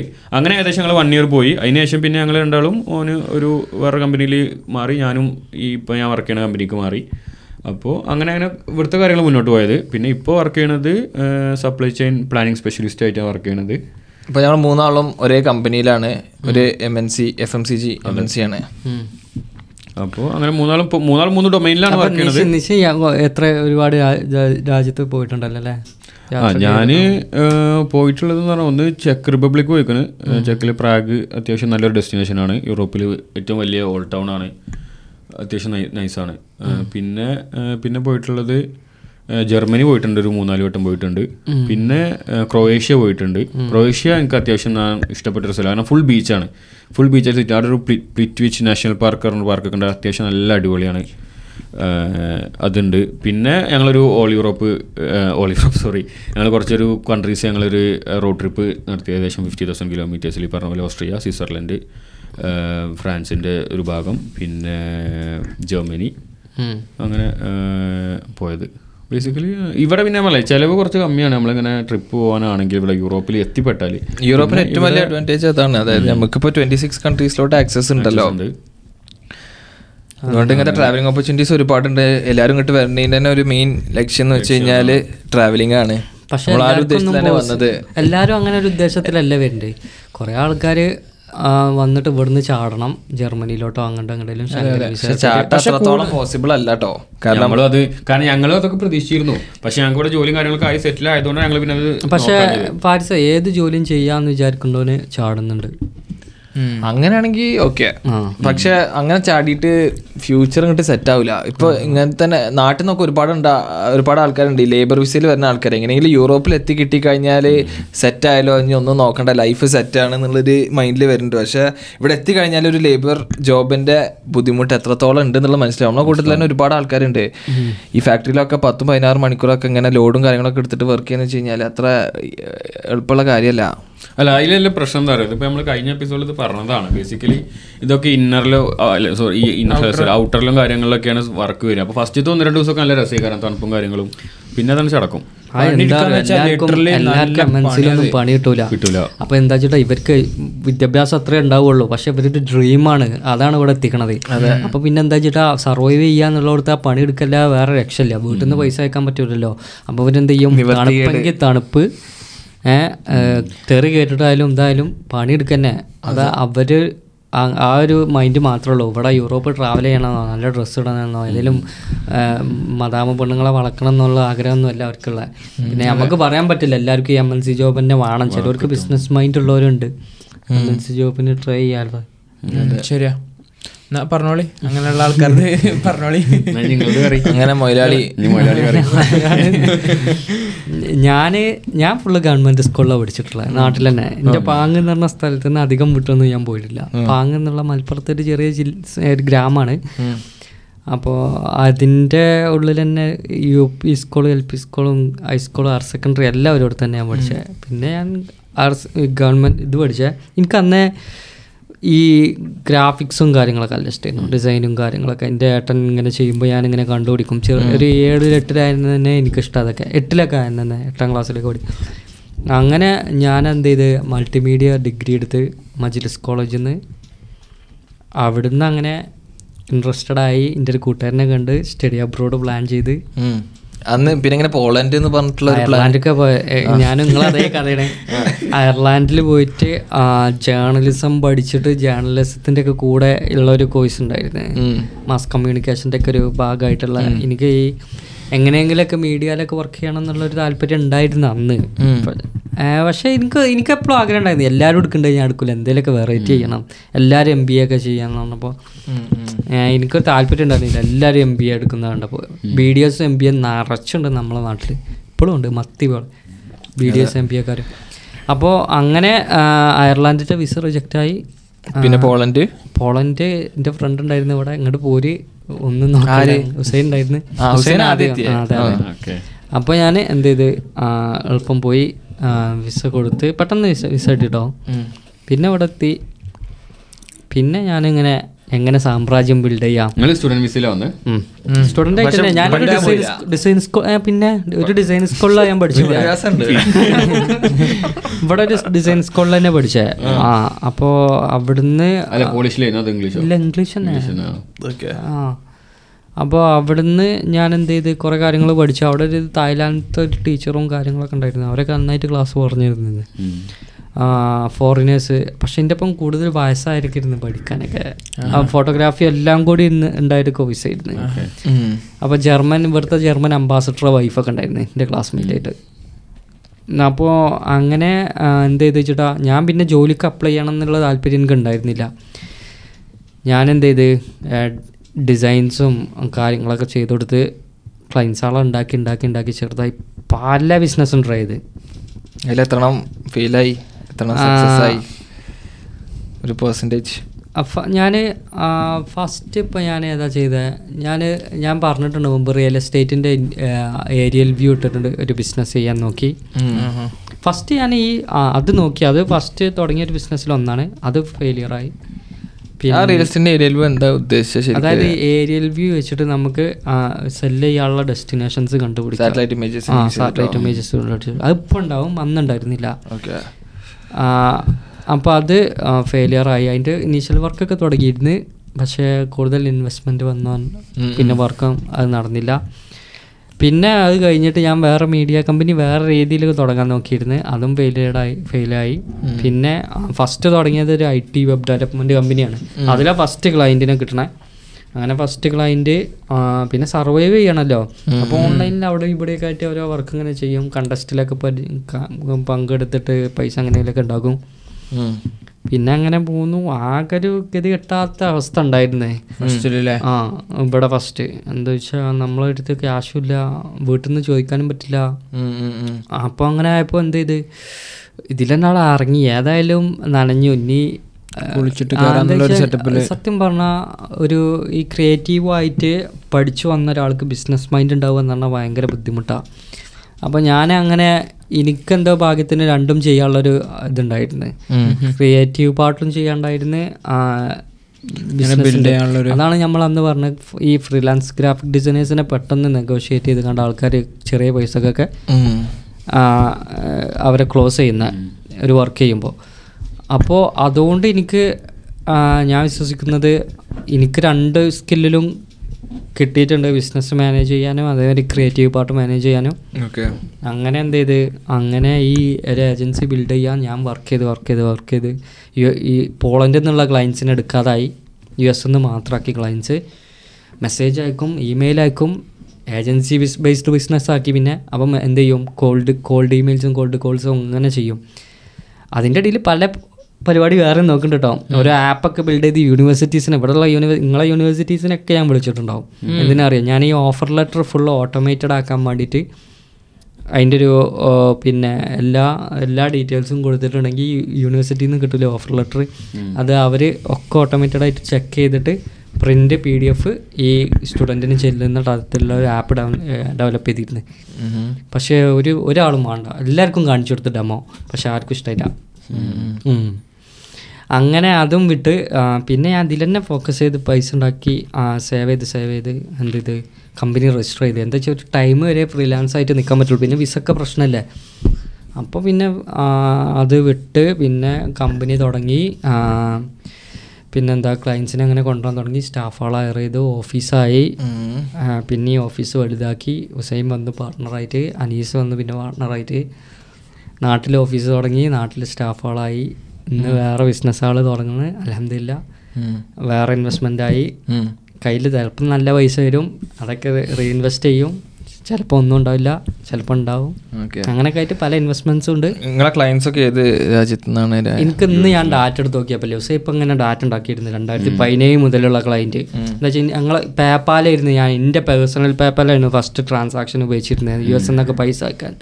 അപ്പോൾ അന്നത്തെ ട്രാൻസാക്ഷനൊക്കെ ഒന്ന് നോക്കിയായിരുന്നു. അപ്പോൾ ഒരു ഞാൻ പോന്നപ്പോൾ ഞാൻ അവൻ ഡാറ്റ ഇങ്ങനെ ടൈപ്പ് ചെയ്ത് നോക്കിയപ്പോൾ നൂറ്റി നാൽപ്പത് ക്ലയൻസ് അവൻ എഴുതിയിരുന്നു ഒരു രണ്ടായിരത്തി പത്തൊമ്പത് ഇരുപത് വരെയൊക്കെ. ഇരുപതോ ഇരുപത്തൊന്ന് വരെ. പക്ഷെ എന്തായാലും ഒരു മുന്നൂറ് ക്ലയൻസിന് ഞാൻ മൊത്തം മാനേജ് ചെയ്തിട്ടുണ്ട്. സോഷ്യൽ മീഡിയ സോഷ്യൽ മീഡിയ മാത്രമല്ല ആ ഇന്റർനാഷണൽ ക്ലയൻസ് ഏതൊക്കെ രാജ്യങ്ങൾ പോകുന്നതാ മെയിൻ ആയിട്ട് ഇപ്പോഴും യു എസ് തന്നെ യു എസ് യു എസ് തന്നെ നിങ്ങളിപ്പോ മെയിൻ ക്ലയൻസ് യു എസിലാന്ന് പറഞ്ഞേ. ഇതിൽ കുറച്ച് ഫേമസ് ആയിട്ടുള്ള ആൾക്കാർക്ക് അറിയപ്പെടുന്ന കുറച്ച് ക്ലയൻസ് ആരൊക്കെയാണ്? ഒന്ന് വേൾഡിലെ ഏറ്റവും വലിയ ബിസിനസ് മോട്ടിവേഷണൽ അക്കൗണ്ട് ഉണ്ടായി ഞങ്ങളെ മാനേജ് ചെയ്യുന്ന ബ്രാൻഡ് അവരെ ഇൻസ്റ്റഗ്രാം വെബ്സൈറ്റ് ബ്ലോഗ്സ് കാര്യങ്ങളെല്ലാം മില്യണർ മെന്റർ പിന്നെ ഫോളോ ചെയ്യുന്നുണ്ടാവും ഞാൻ പിന്നെയാണ് അറിഞ്ഞത് ഫോളോ ചെയ്തിരുന്നു. മില്യനർ മെന്റർ പിന്നെ അത് ഉണ്ടാക്കിയ ആൾ ഇവിടെ നമ്മളെ കൂട്ടത്തിൽ ഇരിക്കുന്ന പിന്നെ യൂട്യൂബിൽ ഒരു വലിയൊരു മോട്ടിവേഷണൽ പേജ് ഇതുണ്ട്. കാൾനിലോ എന്ന് പറഞ്ഞിട്ടുള്ള. പക്ഷെ അത് ഞാനാണ് ബിൽഡ് ചെയ്തേ. കാൾനിലോ. ഞാനും അവനും ആണ് ബിൽഡ് ചെയ്തേ. അതിൽ ഫോർ ഫോർ മില്യൺ സബ്സ്ക്രൈബേഴ്സ് ഉണ്ട്. യൂട്യൂബിൽ. ഓക്കെ കാലനിയിലുണ്ട് ഇൻസ്റ്റാഗ്രാം പേജും അല്ലേ ഓക്കെ അതും സിക്സ് ഹൺഡ്രഡ് സംതിങ് അതിലൊക്കെ ആക്സസ് ഉണ്ട് എനിക്ക്. ഓക്കെ മില്യൺ നമ്പർ ഒക്കെ ആക്സസ് ഉണ്ട്. പിന്നെ കോഡീസ് പെർവർ എന്ന് പറഞ്ഞിട്ട് ക്ലവർ ഇൻവെസ്റ്റർ പുള്ളിക്കാരൻ യു എസിലെ ഏറ്റെടുത്തൊരു പേരെടുത്തൊരു ആ റിയൽ എസ്റ്റേറ്റിൽ എന്റെ മിക്ക ക്ലയന്റും റിയൽ എസ്റ്റേറ്റിനാണ് കാർലോസ് റോയ്സ് ഉണ്ട്. കോഡീസ് പെർബർ അങ്ങനെ കുറേ പേരുണ്ട്. എൻ എഫ് ടി പ്രീമിയർ പറഞ്ഞില്ല. എൻ എഫ് ടി പ്രീമിയറിന്റെ ബ്രാൻഡാണ് ഞാൻ ബിൽഡ് ചെയ്തത് അത് N F T I P L നിന്നപ്പോൾ തുടങ്ങിയതായിരുന്നു. പക്ഷേ ഇനി അത് റീബ്രാൻഡ് ചെയ്ത് ക്രിപ്റ്റോ പ്രീമിയർ എന്നാക്കണം എന്നുണ്ട് എന്താ വെച്ചാൽ എൻ എഫ് ടിക്ക് ഒരു ഫ്യൂച്ചർ ഇപ്പോൾ അടുത്തൊന്നും ഉണ്ടാവില്ല. ഉണ്ട് ഫ്യൂച്ചർ ഉണ്ട്. പക്ഷേ അടുത്തൊന്നൊരു ഭൂമി പഴയ പോലെ ഉണ്ടാവില്ല. അപ്പോൾ എൻ എഫ് ടി പ്രീമിയറിന് നല്ല വെബ്സൈറ്റിലോട്ട് നല്ല ട്രാഫിക് ഉണ്ട്. ഇൻസ്റ്റഗ്രാമിൽ hundred and forty K followers ടിക്ടോക്കിൽ hundred and fifty seven followers fifty seven K നിങ്ങൾ ബിസിനസ് തുടങ്ങിയ സമയത്ത് ഇനീഷ്യലി ഭയങ്കര സ്ട്രഗ്ലിംഗ് ആയിരുന്നു പറഞ്ഞല്ലേ? പക്ഷെ ഒരു സ്പെസിഫിക് ടൈം എത്തിയപ്പോൾ നല്ല രീതിയിൽ ആക്സിലറേറ്റഡ് ആയിട്ട് ഇങ്ങനെ പോയ പോലെ നിങ്ങൾക്ക് ഫീൽ ചെയ്തിരുന്നു? ബിസിനസ് ഒക്കെ ഒന്ന് സ്മൂത്തായി എന്ന് തോന്നിയോ? ആദ്യം തുടങ്ങി പിന്നെ ഒന്ന് സ്റ്റാൻഡായ സമയത്ത് നിങ്ങൾക്ക് ഒന്ന് സ്മൂത്തായി ഒന്നും കൂടെ ഈസി ആയി എന്ന് തോന്നിയൊരു സമയം ഉണ്ടായിരുന്നോ? ഒരിക്കലും അങ്ങനെ തോന്നൂല ഒരാൾക്കും ഒരു ബിസിനസ്സായിരുന്നു എനിക്ക് തോന്നുന്നില്ല എന്താ വെച്ചാൽ ബിസിനസ് ഒരു ചില്ലും കൂട്ടിലൂടെ നടക്കുന്ന പോലെ വാരൻ ബഫറ്റ് പറഞ്ഞിട്ടില്ലേ? പത്ത് വർഷം എടുക്കും ഒരു എംപയർ ബിൽഡ് ചെയ്യാൻ പക്ഷെ പത്ത് സെക്കൻഡ് മതി അത് ഒരാളുടെ ഇമേജിന്റെ കാര്യം അങ്ങനെ തന്നെയാണ്. അത് ഞാൻ കാര്യമായിട്ട് പറയാം. അതൊരിക്കലും നമ്മൾ സ്റ്റാഫുകളെ എത്ര വെച്ചിട്ടും കാര്യമില്ല. നമ്മൾ വർക്ക് ചെയ്യുന്ന പോലെ ആരും വർക്ക് ചെയ്യില്ല. അങ്ങനത്തെ കാര്യം. പിന്നെ റെഫറൻസ് ബേസ്ഡ് ബിസിനസ് ആണ് എന്റെ. കൂടുതൽ ഞാൻ അങ്ങനെ ഇറങ്ങി മാർക്കറ്റൊന്നും ചെയ്യാറില്ല. എന്റെ ക്ലയൻസിന് എന്റെ വർക്ക് ഇഷ്ടമാണ് അപ്പോൾ അവരെന്ത് ചെയ്യും? റിയൽ എസ്റ്റേറ്റിൽ എല്ലാവരും ഭയങ്കര നെറ്റ്വർക്കാണ് റിയൽ എസ്റ്റേറ്റ് ക്ലയൻസ് അതാണ് എനിക്ക് കൂടി വന്നേ. ഒരാൾ ഒരാളടുത്ത് പറയും മറ്റേ ആൾ ഒരാളടുത്ത് പറയും. ഇവർ ഭയങ്കര നെറ്റ്വർക്കാണല്ലോ റിയൽ എസ്റ്റേറ്റ് അപ്പോൾ എനിക്ക് എന്ത് ചെയ്ത്? ഈ റെഫറൻസ് ബിസിനസ് ആകുമ്പോൾ തന്നെ ഞാൻ നന്നായിട്ട് എല്ലാവരും ഇമേജ് നോക്കണം. ഒരാളെ ഒരാൾക്ക് മോശം വർക്ക് ഡെലിവറി ചെയ്താൽ മറ്റേ ആൾ മറ്റേ എനിക്കിത് റ- ഇന്നെ റെഫർ ചെയ്ത ആളെടുത്ത് കാര്യം പോയി പറയാം. അതെ അതെ. അപ്പോൾ ആകെ ആകെ ഒരു ബ്ലോക്ക് ചെയിൻ പോലെയാണിത് കിടക്കുന്നത് അപ്പോൾ അങ്ങനെ ഒരു പ്രശ്നമുണ്ട് ഇതിൽ ഓക്കെ. പിന്നെ ഇൻട്രൊഡക്ഷൻ കഴിഞ്ഞില്ല? ഞാൻ കൂടുതലൊന്നും പറയാലല്ലോ പിന്നെ ഞാൻ യാത്ര ചെയ്ത കൺട്രിയിൽ എനിക്കിഷ്ടം ഞാൻ ഒരു ഒരു എട്ട് യൂറോപ്പിൽ എട്ട് ഒമ്പത് രാജ്യത്ത് പോയിട്ടുണ്ട്. പക്ഷെ എനിക്ക് ഇഷ്ടപ്പെട്ട രാജ്യം എന്ന് പറയുക എസ്റ്റോണിയാണ്. പക്ഷെ എനിക്ക് പ്രകൃതി നല്ല ഇഷ്ടമാണ്. ആ ബിൽഡിങ്സും കാര്യങ്ങളൊക്കെ. എസ്റ്റോണിയയിൽ താർത്തു എന്ന് പറഞ്ഞ സ്ഥലമുണ്ട്. എന്റെ ഒരു ക്ലയന്റ് ഉണ്ട് അവിടെ ഈ കാളനിലോ എന്ന് പറഞ്ഞില്ലേ? ആ പുള്ളിക്കാരൻ അവിടെ എസ്റ്റോണിയത്തെ സെക്കൻഡ് ലാർജസ്റ്റ് ഫാം പുള്ളിക്കാരന്റെ. വലിയ ഫാമാ ഏക്കർ ഡയറക്റ്റ് ഇന്ററാക്ഷൻ ആണോ അതോ ഡയറക്റ്റ് ഇൻട്രാക്ഷൻ പി എന്നല്ല ഡയറക്റ്റാ ഞങ്ങൾ അധിക ദിവസം സംസാരിക്കും. അപ്പോൾ ഞാൻ അവിടെ പോയി പുള്ളിക്കാരനെ എയർപോർട്ടിൽ നിന്നൊക്കെ പിക്ക് ചെയ്ത് ഇടക്കിടക്ക് വിളിക്കും എപ്പോഴും ചെല്ലാൻ പറഞ്ഞിട്ട്. അങ്ങനെ പുള്ളിക്കാരന് ഫാമിൽ വീടുകളാണ്. അവരെ വീടുകളൊക്കെ ഫാമിൽ അവരെ കുടുംബം എപ്പോഴും ആ, പോണല്ലോ? എന്നിട്ട് അവിടെ പോയിട്ട് നിന്ന് എനിക്ക് സ്വന്തമായിട്ടൊരു വീട് തന്ന്. ആ ഒരു ഒരു നല്ല വലിയൊരു വീട്. ഞാൻ ഒറ്റയ്ക്ക് ആ വീട്ടിൽ. എന്നിട്ട് പുള്ളിക്കാരൻ ഫുഡായിട്ടൊക്കെ വരും. പക്ഷേ നല്ലൊരു എക്സ്പീരിയൻസ് ആയിരുന്നു. നല്ല നല്ല ഒരു നമ്മൾ എന്താ പറയുക നമ്മൾ ഈ പണ്ട് യൂറോപ്പൊക്കെ ഗൂഗിളിൽ സെർച്ച് ചെയ്യുമ്പോൾ മലകളും കാര്യങ്ങളൊക്കെ കാണില്ലേ ആ വൈബ് ഈസ്റ്റേൺ യൂറോപ്പിന്റെ വൈബ് ശരിക്കും അവിടെ നിന്ന് ഞാൻ അറിഞ്ഞത് എന്നിട്ട് പുള്ളിക്കാരന്റെ ഫാം ഫാമിൽ നല്ല ചീസ് ചീസിനുള്ള ഒരുപാട് പ്രൊഡക്ട്സ് ചീസ് കേക്ക് അത് ഇത് കുറേ സംഭവങ്ങളുണ്ട്. ആ വലിയ രീതിക്ക് ഒരു പ്രൊഡക്ഷൻ ചെയ്യണ്ടല്ലേ? ആ ഉണ്ട്. പിന്നെ പുള്ളിക്കാരന്റെ അച്ഛൻ അവിടുത്തെ ഒരു ഫോർമർ എം പി ആയിരുന്നു. ഓക്കെ അപ്പോൾ നല്ല ഒരു എക്സ്പീരിയൻസ് ചെയ്യുന്നു അവിടെ പോയി പറഞ്ഞപ്പോൾ ശരി. പിന്നെ നിങ്ങൾ ആരെങ്കിലും ഇത് കണ്ടിരുന്നോ? സൂപ്പർ ബൗൾ കണ്ടിരുന്നോ. സൂപ്പർ ബൗൾ യു എസിലൊരു നമ്മളെ നാട്ടിലെങ്ങനെ തൃശ്ശൂർ പൂരം അതേപോലെ സൂപ്പർ ബൗൾ സൂപ്പർ ബൗളിന്റെ ഫൈനലൊക്കെ നടക്കുക. എത്ര നൂറ്റി ഇരുപത് നൂറ്റി ഇരുപത് മില്യൺ ആൾക്കാരോളം കണ്ടിട്ടുണ്ട്. ഫൈനൽ മാത്രം. അതായത് നൂറ്റി ഇരുപത് മില്യൺ പന്ത്രണ്ട് കോടി ആൾക്കാർ അപ്പോൾ ഈ പന്ത്രണ്ട് കോടി ആൾക്കാർ കാണുന്ന ഈ ഷോക്ക് ഈ ഈ റഗ്ബിയാണ് സൂപ്പർ ബൗളിൽ നിന്ന് ഞാൻ ഉദ്ദേശിച്ച അതിന്റെ റഗ്ബിയുടെ ഫൈനലിന് ഈ പന്ത്രണ്ട് മില്യൺ ആൾക്കാർ കാണേണ്ട ഹാഫ് ടൈം ഷോക്കാണ് കൊമേഴ്ഷ്യൽസ് വരും ആഡ്സ് ഒരു സ്ലോട്ടിന് ആ ഒരു സ്പോട്ട് ഒരു ആഡ് അവിടെ ചെയ്യണം എന്നുണ്ടെങ്കിൽ ഏഴ് മില്യൺ ഡോളറാണ് അമ്പത്തെട്ട് കോടി അമ്പത്തിരണ്ട് കോടി അമ്പത് അമ്പത് കോടിന്റെ മുകളിലായി. ഏഴ് മില്യൺ ആ അമ്പത് കോടിയുടെ മുകളിലായി. ഏഴ് മില്യൺ. മുപ്പത് സെക്കൻഡ്. സെക്കൻഡ്. ആ ഏഴ് മില്യൺ. അങ്ങനെ ഒരുപാട് കമ്പനീസ് ചെയ്യും. Crypto companies crypto E T എഫ്സിന്റെ എല്ലാ എല്ലാ ആഡ്സും വന്നിരുന്നത് അങ്ങനെ കാനിയവ സ്റ്റൈലൊരു ആഡ് ചെയ്ത്. പുള്ളിക്കാരന്റെ ഈസി ഡോട്ട് കോം ഉണ്ടല്ലോ. ഓൺലൈൻ ഷോപ്പിംഗ് ഈസി പ്രോഡക്ട്സിന്റെ അപ്പോൾ എന്താ പുള്ളിക്കാരൻ ചെയ്ത ആടെന്ന് അറിയോ ജസ്റ്റ് ഒരു സെൽഫി വീഡിയോയിൽ ഞാൻ പൈസ ഒക്കെ കൊമേഴ്ഷ്യലിന് കൊടുത്തു. കൊമേഴ്ഷ്യൽ സ്പോട്ട് കിട്ടാൻ കൊടുത്തു എൻ എഫ് എല്ലിന് ഇനി ആടിന് പൈസ സ്പെൻഡ് ചെയ്യുന്നില്ല എന്നുള്ള രീതിയിൽ പുള്ളിക്കാരൻ ജസ്റ്റ് ഒരു സെൽഫിയിൽ സംസാരിച്ചു. കാറിൽ ഡ്രൈവ് ചെയ്യുമ്പോൾ നല്ല നോയിസ് ഒക്കെ ഉണ്ട്. ജസ്റ്റ് വിസിറ്റ് ചെയ്യ ഈ വെബ്സൈറ്റ് അതിൽ കുറച്ച് ഷൂകളുണ്ട് വിൽക്കാൻ പറഞ്ഞിട്ട്. ഈസി ഡോട്ട് കോം ബൈ അങ്ങനെ പറഞ്ഞിട്ട്. അങ്ങനെ ആ ആഡ് അതാണ് ഏറ്റവും കൂടുതൽ കൂടുതൽ ആൾക്കാർക്ക് അറ്റൻഷൻ വന്ന ആഡ് അതാണ്. ഏറ്റവും കൂടുതൽ ആൾക്കാർ എൻഗേജ്ഡ് ആയി അല്ലെങ്കിൽ സംസാരിച്ച് കൂടുതൽ ചർച്ച ചെയ്യപ്പെട്ട ഒരു ആഡ് അതാണ്. അപ്പോൾ എന്ത് ആ ഒരു കൊമേഴ്ഷ്യൽ കാരണം ഈസിക്ക് വന്ന പ്രോഫിറ്റ് എന്ന് പറഞ്ഞിട്ടുണ്ടെങ്കിൽ അന്ന് ആ ഒരു ഒറ്റ ദിവസം കൊണ്ട് പത്തൊമ്പത് പോയിന്റ് സംതിങ് മില്യൺ ഡോളേഴ്സിന്റെ സൈൽ ഒരു ദിവസം കൊണ്ട്. സോൾഡ് ഔട്ട് ആയും ചെയ്തു ആ. സമയം? ആ. അതേപോലെ തന്നെ കഴിഞ്ഞ വർഷം രണ്ടായിരത്തി ഇരുപത്തി പക്ഷേ അതിൽ വേറൊരു സംഭവം ഞാൻ കണ്ടു ശരിയാണെന്ന് എനിക്ക് അറിഞ്ഞൂടാ അതിൽ ടു ഹൺഡ്രഡ് ഡോളേഴ്സിന് എങ്ങനെയാണ് സാധനങ്ങൾ കൊടുത്തോണ്ടുന്നത് ട്വന്റി ഡോളേഴ്സ് ആക്കി പിന്നെ. പിന്നെ ട്വന്റി ഡോളേഴ്സ് ആക്കി. എന്നിട്ട് ഈ സാധനം ആദ്യം വാങ്ങിച്ചില്ലേ? ഒരിടത്ത് കാനോച്ച് സ്റ്റോറി അങ്ങനെ ഇട്ടിട്ട് പറയാണ് ഈ ടു ഹൺഡ്രഡ് ഡോളേഴ്സ് വാങ്ങി എല്ലാവരും വൺ എയ്റ്റി ഡോളേഴ്സ് തിരിച്ച് എല്ലാവരും അക്കൗണ്ടിക്കും വരുന്നത് പക്ഷെ ആ ഐഡിയ നോക്ക്. എൻ എഫ് എല്ലിൽ നോക്ക്. ഈ സൂപ്പർ ബൗളിന്റെ ഫൈനലിന് അത്രയും മില്യൺസ് കൊടുത്തിട്ടാണ് പിന്നെ ഇവർ ആടൊക്കെ കൊമേഴ്ഷ്യലൊക്കെ വരെ ഓരോ ഏജൻസിനെ ഏൽപ്പിച്ചിട്ട് ചെയ്യുന്നത് പക്ഷേ ഇവർ ചെയ്ത് നോക്ക് കാനിയ വെസ്റ്റ് അതേപോലെ തന്നെ ഒരു വട്ടം കോയിൻ ബേസ് ഉണ്ടായി ചെയ്യുക. കോയിൻ ബേസ് ജസ്റ്റ് അവരെ ക്യു ആർ കോഡ് ഇങ്ങനെ കറന്ന് കറങ്ങുക. അത്ര മാത്രം.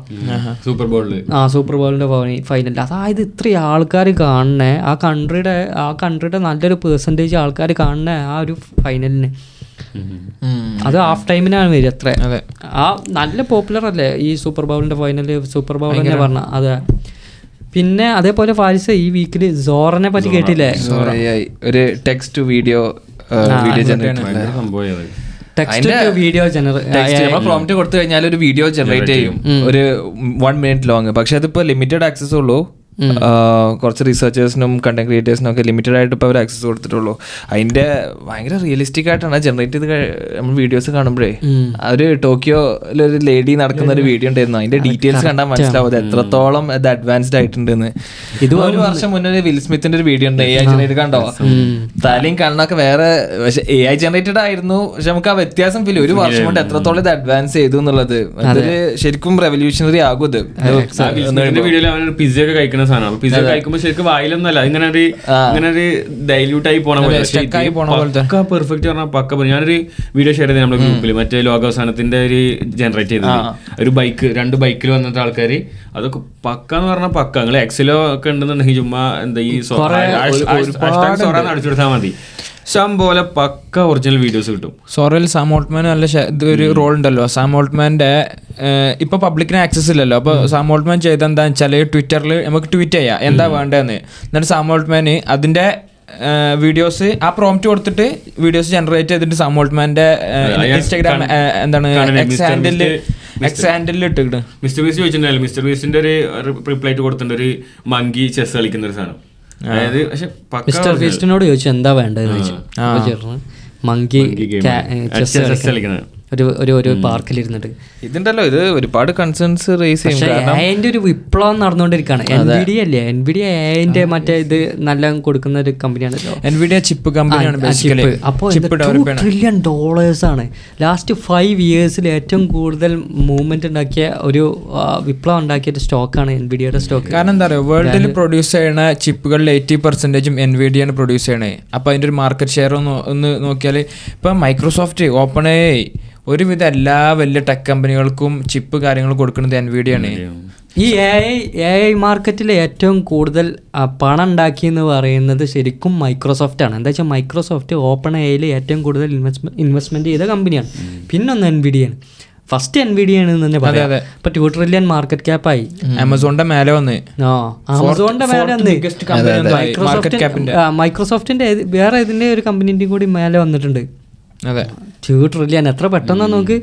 ഒരു ദിവസം എത്ര എത്ര അവർ കൊണ്ട് എത്ര ബില്യൺസ് ഒക്കെ കയറിയിരുന്നേ. എന്നുവെച്ചാൽ ഏറ്റവും ടോപ്പുള്ള ഓരോ companies one percentage two percentage ഒക്കെ ഓരോ ദിവസം ഗെയിൻ ചെയ്ത സമയത്ത് സിക്സ്റ്റീൻ പെർസെന്റേജ് ട്വന്റി പെർസെന്റേജിന്റെ അടുത്തൊക്കെ എൻവിഡിയന്റെ സ്റ്റോക്ക് ആ ബൂം വന്നിട്ടുണ്ട്. പക്ഷേ എന്താ പറയുക എ ഐ ചിപ്പിന്റെ കാലമായി വരിക എന്നുള്ളതിന്റെ ഒരു ഏറ്റവും വലിയ തെളിവാണ് സാമോൾട്ട്മാൻ സെവൻ ട്രില്യൺ റേസ് ചെയ്യാന്ന് പറഞ്ഞ ഒരു ന്യൂസ് നിങ്ങൾ ആരെയും ശ്രദ്ധിച്ചിനോ അതായത് ഒരു എ ഐ ചിപ്പ് ഒരു കമ്പനി ചിപ്പ് കമ്പനി ബിൽഡ് ചെയ്യാൻ വേണ്ടിയിട്ട് സെവൻ ട്രില്യൺ ആളുകളുടെ അടുത്ത് നിന്ന് കളക്ട് ചെയ്യാന്ന്. സെവൻ ട്രില്യൺ എന്ന് വെച്ചാൽ ആപ്പിളിന്റെ ഇന്ത്യയുടെ മൂന്ന് രണ്ട് ഇരട്ടി ജി ഡി. പിന്റെ ഇരട്ടി. ആപ്പിളും മൈക്രോസോഫ്റ്റും കൂടി കമ്പൈൻ ചെയ്താൽ എത്രയാണോ? ഏകദേശം അത്രയും വലിയ സംഖ്യയാണ് സെവൻ ട്രില്യൺ എന്ന് വെച്ചാൽ അപ്പൊ അതിന്റെ ഒരു പോസിബിലിറ്റി ഭയങ്കര ഹ്യൂജ് ആണ്. പക്ഷെ അത് നട എത്രത്തോളം പക്ഷേ one time one time investment ആവില്ല മൾട്ടിപ്പിൾ ടൈംസ് ഇൻവെസ്റ്റ്മെന്റ് ആയിക്കാരം നല്ല പ്ലാൻ ഉണ്ടെങ്കിൽ ഈ റിച്ച് ഫാമിലീസ് അല്ലേ കിങ് ഈ സൗദി കിങ്ഡം അവരൊക്കെ ചെയ്യും. റിച്ച് ഫാമിലി റോഷലിന്റെ അയാളെ മരിച്ചു ആ അതെ അയാൾ മരിച്ചു ഇന്ന്. ജേക്കബ് റോഷെൽഡ് പിന്നെ അതേപോലെ സ്ട്രഗിൾ ചെയ്യുന്നവരും ഉണ്ട് എ ഐയിൽ ഇപ്പോ ഗൂഗിളിന്റെ ജമിനായി. ഇരുപത്തിനാല് മണിക്കൂർ കൊണ്ട്. ആ കുറച്ച് ആന്റി വൈറ്റ് ആയിട്ടുള്ള കുറച്ച് കണ്ടന്റ് വന്നില്ലേ? അവർ ഈ പോപ്സിനൊക്കെ ജനറേറ്റ് ചെയ്യാൻ പറഞ്ഞപ്പോ ബ്ലാക്ക് ആയിട്ടില്ല പക്ഷെ വൈക്കിങ്ങിനെ ജനറേറ്റ് ചെയ്തപ്പോ ബ്ലാക്ക് ചരിത്രത്തിൽ ഇതുവരെ ബ്ലാക്ക് ആയിട്ടില്ല പോപ്പ് വന്നിട്ടില്ലല്ലോ. അപ്പൊ അതാണ് ഇപ്പൊ ഈ അതിനെ ഫീഡ് ചെയ്യുന്ന ഡാറ്റ വെച്ചിട്ടാണ് അവർ ജനറേറ്റ് ചെയ്യണേ. അപ്പൊ ചരിത്രത്തിൽ ഇതുവരെ വൈറ്റ് ബ്ലാക്ക് ആയിട്ടുള്ള പോപ്പ് വന്നിട്ടില്ല. പക്ഷെ ഒരു പോപ്പിനെ ജനറേറ്റ് ചെയ്യാൻ പറഞ്ഞപ്പോ ഒരു ബ്ലാക്ക് ആയിട്ടുള്ള പോപ്പിനെ ജനറേറ്റ് ചെയ്ത് അതേ കോസ്റ്റ്യൂം ഒക്കെ ഇട്ടിട്ട്. അപ്പോൾ അതേപോലെ എന്ത് ചോദിച്ചാലും ഒരു ബ്ലാക്ക് പീപ്പിൾ ബ്ലാക്ക് സുപ്രമസി വന്നു. അതായത് ബ്ലാക്ക് പീപ്പിൾ ആണ് അവർ കൂടുതൽ കാണിക്കുന്നത്. അപ്പോൾ ഒരു റിയൽ ആയിട്ടുള്ള ഒരു ഇതല്ല. ഇപ്പൊ ലോ- ലോകത്തെ എല്ലാ കളറിലെ ആൾക്കാരും ഉണ്ടല്ലോ അപ്പൊ പലതും ജനറേറ്റ് ചെയ്യാൻ പറയുമ്പോൾ പലതും എല്ലാം ജനറേറ്റ് ചെയ്യണല്ലോ. പക്ഷെ ഒന്നും വന്നിട്ടില്ല. ഒന്നും വന്നിട്ടില്ല ജനറേറ്റ് ചെയ്യാൻ പറഞ്ഞു അതിലുണ്ട് ഒരു ബ്ലാക്ക് ബ്രാൻഡ് അത് എന്താ അത് ഒരു ചെയ്താവൂലല്ലോ മീൻസ് ഒരു ഫീഡ്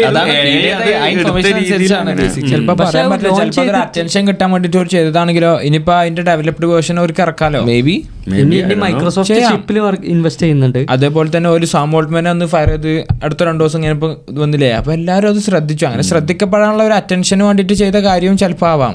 പക്ഷെ ഈ ഗൂഗിൾ ശരിക്കും സ്ട്രഗിൾ ചെയ്യുന്നുണ്ട് ഓരോരോ എ ഐ മോഡൽ സക്സസ് ആവാൻ. ബ്രാഡ് ബാഡല്ലേ ബാഡല്ലേ ആ ബാഡ് അത് സക്സസ് ആയിട്ടില്ല. പിന്നെ ഒന്ന് രണ്ട് അങ്ങനത്തെ ഈ ജമിനായി ഇപ്പൊ സ്ട്രഗിൾ ചെയ്യുന്നു. ശരിക്കും പറഞ്ഞാൽ ഗൂഗിളിന്റെ അടുത്ത ഡാറ്റ നമ്മൾ നോക്കുമ്പോൾ ഉള്ളത് എന്നിട്ട് അവർക്ക് ഇപ്പോൾ എല്ലാം ഗ്രോക്ക് അല്ലേ ഇതിന്റെ മറ്റേ എക്സിന്റെ അത് കുഴപ്പമില്ല കേട്ടോ അതൊക്കെ ഇന്ത്യയിൽ ഞാൻ പോയപ്പോൾ ലാസ്റ്റ് രണ്ട് വീക്ക് മുമ്പ് ഞാൻ പോയപ്പോൾ എനിക്കത് കിട്ടി ഇന്ത്യയിൽ നിന്ന് പക്ഷെ ഇവിടെ വന്നപ്പോൾ പിന്നെയും പോയി. അല്ല എക്സിന്റെ ഒരു സാധനം പറഞ്ഞല്ലോ? എക്സ് എന്ന് പറഞ്ഞിട്ട് ഇലൺ മസ്കിനോട് ചോദിച്ച് എക്സിന് മെയിൽ ഉണ്ടാക്കാൻ പോസിബിൾ ആണോ എന്ന് ചോദിച്ചപ്പോൾ എസ് എസ് വർക്ക് ചെയ്യാന്നുള്ള ഇതിലൊക്കെ പറഞ്ഞിട്ടുണ്ട് എക്സിന് ഈ സോറന്റെ വീഡിയോസ് അപ്പോഴാണ് ജിമെയിൽ അപ്പൊ തന്നെ ഒരു ട്വീറ്റ് ചെയ്ത് Gmail is here to stay ഓ. അങ്ങനെ അങ്ങനെ ഒരു ട്വീറ്റും ചെയ്ത്. പിന്നെ ഇപ്പൊ റീസെന്റ്ലി ഒരു സ്റ്റഡി നടത്തിയിട്ടില്ലായിരുന്നു? കോവിഡ് വാക്സിൻസിന്റെ അപ്പൊ അത് കണ്ടെത്തിയിട്ടില്ലെന്ന് വെച്ചാൽ എന്തോ സൈഡ് എഫക്ട്സും കാര്യങ്ങളൊക്കെ ഉണ്ടെന്ന് നോക്കിയത് അത്. എന്താ വെച്ചാൽ ഒരു ഒരു ഹൺഡ്രഡ് മില്യൺ ആൾക്കാരിലാണ് ഈ ടെസ്റ്റ് നടത്തിയത്. എയ്റ്റ് കൺട്രീസിന് ന്യൂസിലൻഡ് അയർലൻഡ് കാനഡ എന്നൊക്കെ പറഞ്ഞ എയ്റ്റ് കൺട്രീസിനാണ് ഈ ടെസ്റ്റ് നടത്തിയിട്ടുള്ളത്. എക്സാമ്പിൾസ് സാമ്പിൾസ് എടുത്തത് അതിൽ ഹൺഡ്രഡ് മില്യൺ നടത്തിയിൽ നോർമലി ഇവരെന്താ ചെയ്തെന്ന് വെച്ചാൽ ആദ്യം ഒരു ബേസ് ബേസ് ക്രിയേറ്റ് ചെയ്ത്.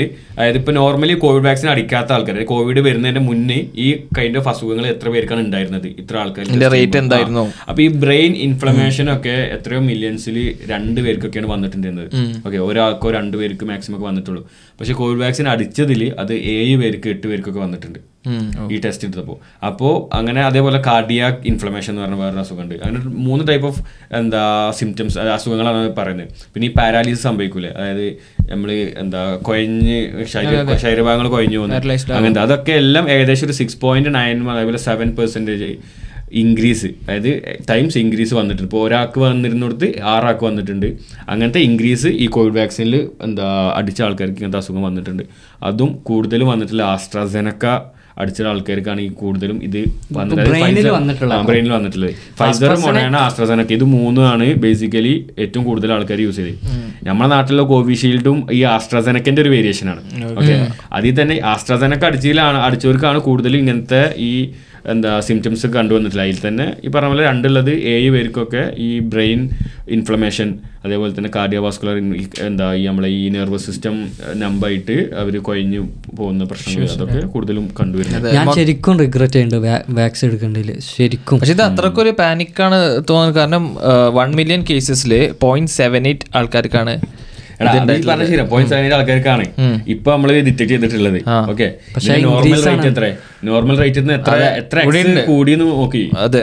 അല്ല അത്രക്കൊരു പാനിക് സിറ്റുവേഷൻ അല്ലാന്ന് പറയാം. ആഴ്ച എല്ലാവർക്കും ഇങ്ങനത്തെ ഇത് വരില്ല. വൺ മില്യണിൽ പോയിന്റ് സെവൻ എയ്റ്റ് ഡിറ്റക്ട് ചെയ്തിട്ടുള്ളൂ. ഈ കോവിഷീൽഡ് എന്താണ് നാട്ടിലെ അതിന്റെ കോവിഷീൽഡ്. ആ, കോവിഷീൽഡ്, കോവിഷീൽഡ് റീബ്രാൻഡ് ചെയ്താണ്. വേറെ വേരിയേഷൻ ആണ് അതെ. അപ്പോൾ എന്താ വെച്ചിട്ടുണ്ടെങ്കിൽ എനിക്ക് ശരിക്കും പറഞ്ഞാൽ ഞാൻ ഞാൻ ഇതിനെക്കുറിച്ച് എന്നോ പറയലുണ്ട് ഈ ഈ വാക്സിനെ കുറിച്ചെടുത്ത് എനിക്കിതിൽ വിശ്വാസമില്ല എന്നുള്ള. പക്ഷേ ഈ സ്റ്റഡി കണ്ടക്ട് ചെയ്തപ്പോൾ ഒരു പറഞ്ഞിരിക്കുന്നത് വെച്ചാൽ ഇതുമൂലം ഉണ്ടാവുന്ന ബെനിഫിറ്റ്സ് റിസ്കിനെക്കാട്ടിലും എത്രയോ ഗ്രേറ്റർ ആണെന്നാണ് പറയുന്നത്. ഒരു ഒരു ഒരു ഞാൻ എവിടെ കേട്ടിട്ടുണ്ട്. നയന്റി സെവൻ പെർസെന്റേജ് സയന്റിസ്റ്റും അവർക്ക് അവരെ ആര് പേ ചെയ്യുന്ന അവരുമായിട്ട് അഗ്രി ചെയ്യുന്ന. ഇതൊക്കെ നമുക്കറിയോ. വാരിസ ഇത് ഇനിയിപ്പോൾ പ്രശ്നമാണെങ്കിൽ തന്നെ മീഡിയ ഇതൊക്കെ പബ്ലിഷ് ചെയ്യുമോ ഞാൻ നിഷിന്റെ അടുത്ത് അതാ പറഞ്ഞത്. ഇതിനെക്കുറിച്ച് റിസർച്ച് നടത്തിയപ്പോൾ നിഷിൻ പറഞ്ഞു അധികമൊന്നും ഇതിനെക്കുറിച്ച് കിട്ടാനില്ല. എക്സിൽ കിട്ടിയ ഡാറ്റയാണ് എനിക്ക് ഏറ്റവും കൂടുതൽ ഇതിലുണ്ടായിരുന്നത് അതായത് യു എസിലൊരു ബ്ലഡ് ഡൊണേറ്റ് ചെയ്യുന്ന വലിയൊരു കം ഇതുണ്ട് ഗ്രൂപ്പുണ്ട് ഓർഗനൈസേഷൻ അവർ ഇപ്പോൾ ചോദിക്കുന്നുണ്ട് നിങ്ങളെ ബ്ല നിങ്ങൾ വാക്സിൻ എടുത്തിട്ടുണ്ടോ എന്ന് ചോദിക്കുന്നുണ്ട് സ്പെസിഫിക് ആയിട്ട്. ആ അങ്ങനെ വരെ എത്തി കാര്യങ്ങൾ മനസ്സിലായോ? പിന്നെ ഈ സ്റ്റഡി നടത്തിക്കുന്നത് നടത്തിക്കുന്ന നടത്തിയിരിക്കുന്ന ടീംസ് എന്ന് പറയുന്നത് കേരള സോറി ലോകത്തിലെ തന്നെ ഏറ്റവും വലിയ വാക്സിൻ സ്റ്റഡി നടക്കുന്ന ഒരു ഗ്രൂപ്പാണ്. അവർ ഹൺഡ്രഡ് മില്യൺ ആൾക്കാരുടെ ഇതിൽ എടുത്തിക്കണേ അതായത് പത്ത് കോടി ആൾക്കാരില്ലേ? പത്ത് കോടി ആൾക്കാരുടെ ഇടയിൽ എടുത്ത്. അപ്പോൾ അങ്ങനെ നോക്കുകയാണെങ്കിൽ അത് കുറവാണ്. പക്ഷേ ഇതുള്ളവരുണ്ട് ബ്ലഡ് ഈ ബ്ലഡ് ക്ലോട്ടിന്റെ കാര്യങ്ങൾ നമ്മൾ ഗൂഗിളിൽ ന്യൂസിൽ നോക്കിയിട്ടുണ്ടെങ്കിൽ ഇതിൽ കാണൂല. ശരിക്കും ഇതിന്റെ ശരിക്കും എക്സ് തുറന്നിട്ട് പിന്നെ ഈ ആസ്ട്രാസെനേക്ക നടിച്ചിട്ടുണ്ടെങ്കിലും ഫൈസർ നടിച്ചിട്ടുണ്ടെങ്കിലും കാണാം. എന്ന് വെച്ചാൽ ഫൈസർ സ്കാം സ്കാമല്ല ഫൈസർ ശരി ഞാൻ ഫൈസർ അടിച്ച ആളാണ് രണ്ട് ഡോസ് അടിച്ചിട്ടുണ്ട്. ഞാൻ റിഗ്രറ്റ് ചെയ്യുന്ന ഒരാളാണ് അടിച്ചിൽ അതിന്റെ സിഇഒന്റെ അടുത്ത് ചോദിക്കുന്നുണ്ട് ഒരാൾ ഇത് നിങ്ങൾ ആദ്യം എന്തിനാ ഹൺഡ്രഡ് പെർസെന്റേജ് എഫക്റ്റീവ് ആണെന്ന് പറഞ്ഞത് പിന്നെ എൺപതായി പിന്നെ എഴുപതായി പിന്നെ അൻപതായി. അങ്ങനെ കുറഞ്ഞ് കുറഞ്ഞ് വന്ന്. ജോൺസൺ ആൻഡ് ജോൺസൺ പ്രൊഡക്ഷൻ എന്ന് നിർത്തി എന്ന് പറഞ്ഞു റീസെന്റ്ലി മൊഡേണൊക്കെ പ്രൊഡക്ഷൻ കമ്മിയാക്കി. അങ്ങനെയൊക്കെ ഉണ്ടായിട്ടുണ്ട്. അപ്പോൾ ഇത് ഒരു വാക്സിൻ കണ്ടുപിടിക്കാൻ അത്ര വർഷം പിടിക്കും പാരിസ്. ഇത് പെട്ടെന്ന് ഒമ്പത് മാസം കൊണ്ടൊക്കെ ഫൈസർ വന്ന് ഇത്രയും ആൾക്കാരുടെ ഇടയിൽ ഡോസ് എടുത്ത്. ചില നോർമൽ നോർമൽ കേസിൽ വാക്സിൻ ഇരുപത് വർഷമൊക്കെ ടെസ്റ്റ് ചെയ്തിട്ടാണ് ഇരുപത് വർഷം ആ, പത്ത് വർഷമൊക്കെ ഉണ്ട്. ഹ്യൂമൻസിൽ ട്രയൽ ചെയ്യാറുള്ളൂ. അതെ. പക്ഷെ ഇതെന്താ പറയുക കോവിഡിന്റെ സമയം എന്ന് വെച്ചാൽ നമുക്ക് അങ്ങനെ പത്ത് വർഷം ടെസ്റ്റ് ചെയ്യാന്നുള്ള ഒരു സെറ്റപ്പ് അല്ല. അത് ഭയങ്കര പാനിക്കിങ് സിറ്റുവേഷൻ ആണ്. അപ്പൊ നമ്മൾ എക്സെപ്ഷണൽ അതാണ്. പക്ഷേ എനിക്ക് തോന്നുന്നത് അവർ ഈ ഇതൊക്കെ ഒരു എത്ര ബില്യൺസ് ഉണ്ടാക്കി ചേട്ടാ ഈ ഇതിന്റെ ഇടയിൽ മാസ്ക് കമ്പനീസ് വാക്സിൻ കമ്പനീസ് ജർമ്മനിയിലൊരു സ്ത്രീ വെള്ളം ഇതാക്കി അടിച്ച്. അയിമക്ക് എത്ര പൈസ ഉണ്ടാക്കിയിട്ടുണ്ടാവും? കോവിഡാന്ന് പറഞ്ഞിട്ട്. അപ്പം എന്തായാലും ഇതിന്റെയൊക്കെ സത്യാവസ്ഥ അങ്ങനെ പുറത്തു വരും. ഒന്നും ഇതിൽ എനിക്ക് പറയാൻ വേറെ അഡീഷൻ ഇന്നിപ്പോ ഞാൻ എന്റെ ഷോൾഡറിനെ കാണിക്കുന്ന ഡോക്ടറെ വിളിച്ചപ്പോൾ പോലും അവർ ഈ കസ്റ്റമർ കെയറിലാണ് വിളിച്ചത്. എന്താ ഡോക്ടർ അപ്പോയിൻമെന്റ് ബുക്ക് ചെയ്യുക അവർ പോലും ചോദിക്കുന്നത് നിങ്ങൾ കോവിഡ് വാക്സിൻ എടുത്തിട്ടുണ്ടോ? അതുമായി ബന്ധപ്പെട്ട എന്തെങ്കിലും സിംറ്റംസ് ഉണ്ടോ എന്നാണ്. അതായത് എന്തെങ്കിലും രണ്ട് നിൽക്കുക എന്ന് പറഞ്ഞിട്ട്. അതായത് ഇപ്പോഴും ഇപ്പോഴും അവരത് എന്തെങ്കിലും ഉണ്ടോ? എന്തെങ്കിലും ഉണ്ടോ എന്നൊരു ചെറിയൊരു പേടി. അല്ലെങ്കിൽ ഈ പറഞ്ഞ പോലെ നമ്മൾ പറഞ്ഞല്ലോ ഈ പറഞ്ഞല്ലോ പോയിന്റ് സെവൻ എത്ര ഉള്ളൂ. അത്രയും റയർ ആയിട്ടാണ് സംഭവിക്കണമെന്നുണ്ടെങ്കിൽ അവർ ഇത്രയും ഇതിനെ പറ്റി കെയർ ചെയ്യേണ്ട ആവശ്യമില്ല. ഇത്ര റയർ ആയിട്ട് സംഭവിക്കുന്ന ഒരു ഡിസീസ് ആണെന്നുണ്ടെങ്കിൽ. അവരിപ്പോഴും അത് ഇത്ര മൂന്ന് വർഷം നാല് വർഷം കഴിഞ്ഞിട്ട് ഇപ്പോഴും അത് എല്ലായിടത്തും നമ്മൾ കേൾക്കുന്നതാണ്. കോവിഡ് വാക്സിൻ റിലേറ്റഡ് എന്തെങ്കിലും അസുഖം ഉണ്ടോ? എപ്പോൾ ചെന്നാലും നമ്മൾ എവിടെ മെഡിക്കൽ ട്രീറ്റ്മെന്റിന് പോയാലും അവർ അവർ ഫോമിൽ ഒരു ക്വസ്റ്റ്യനായി മാറിയത്. പിന്നെ ഇൻട്രൊഡക്ഷൻ ടൈമിൽ എല്ലാവരും ചോദിക്കുന്നതാണ് എന്താണ് ഈ ചുവന്ന ക്ലാസ്സിൽ നിന്ന് അത് തൽക്കാലം റിവ്യൂ റിവീൽ ചെയ്യണ്ടല്ലേ ഏ വേണ്ട ക്യൂരിയസിറ്റി ആയി കിടക്കട്ടെ. ഓക്കെ. നമുക്ക് താങ്ക് യു ഗൈസ് നെക്സ്റ്റ് എപ്പിസോഡിൽ കാണാം. ബൈ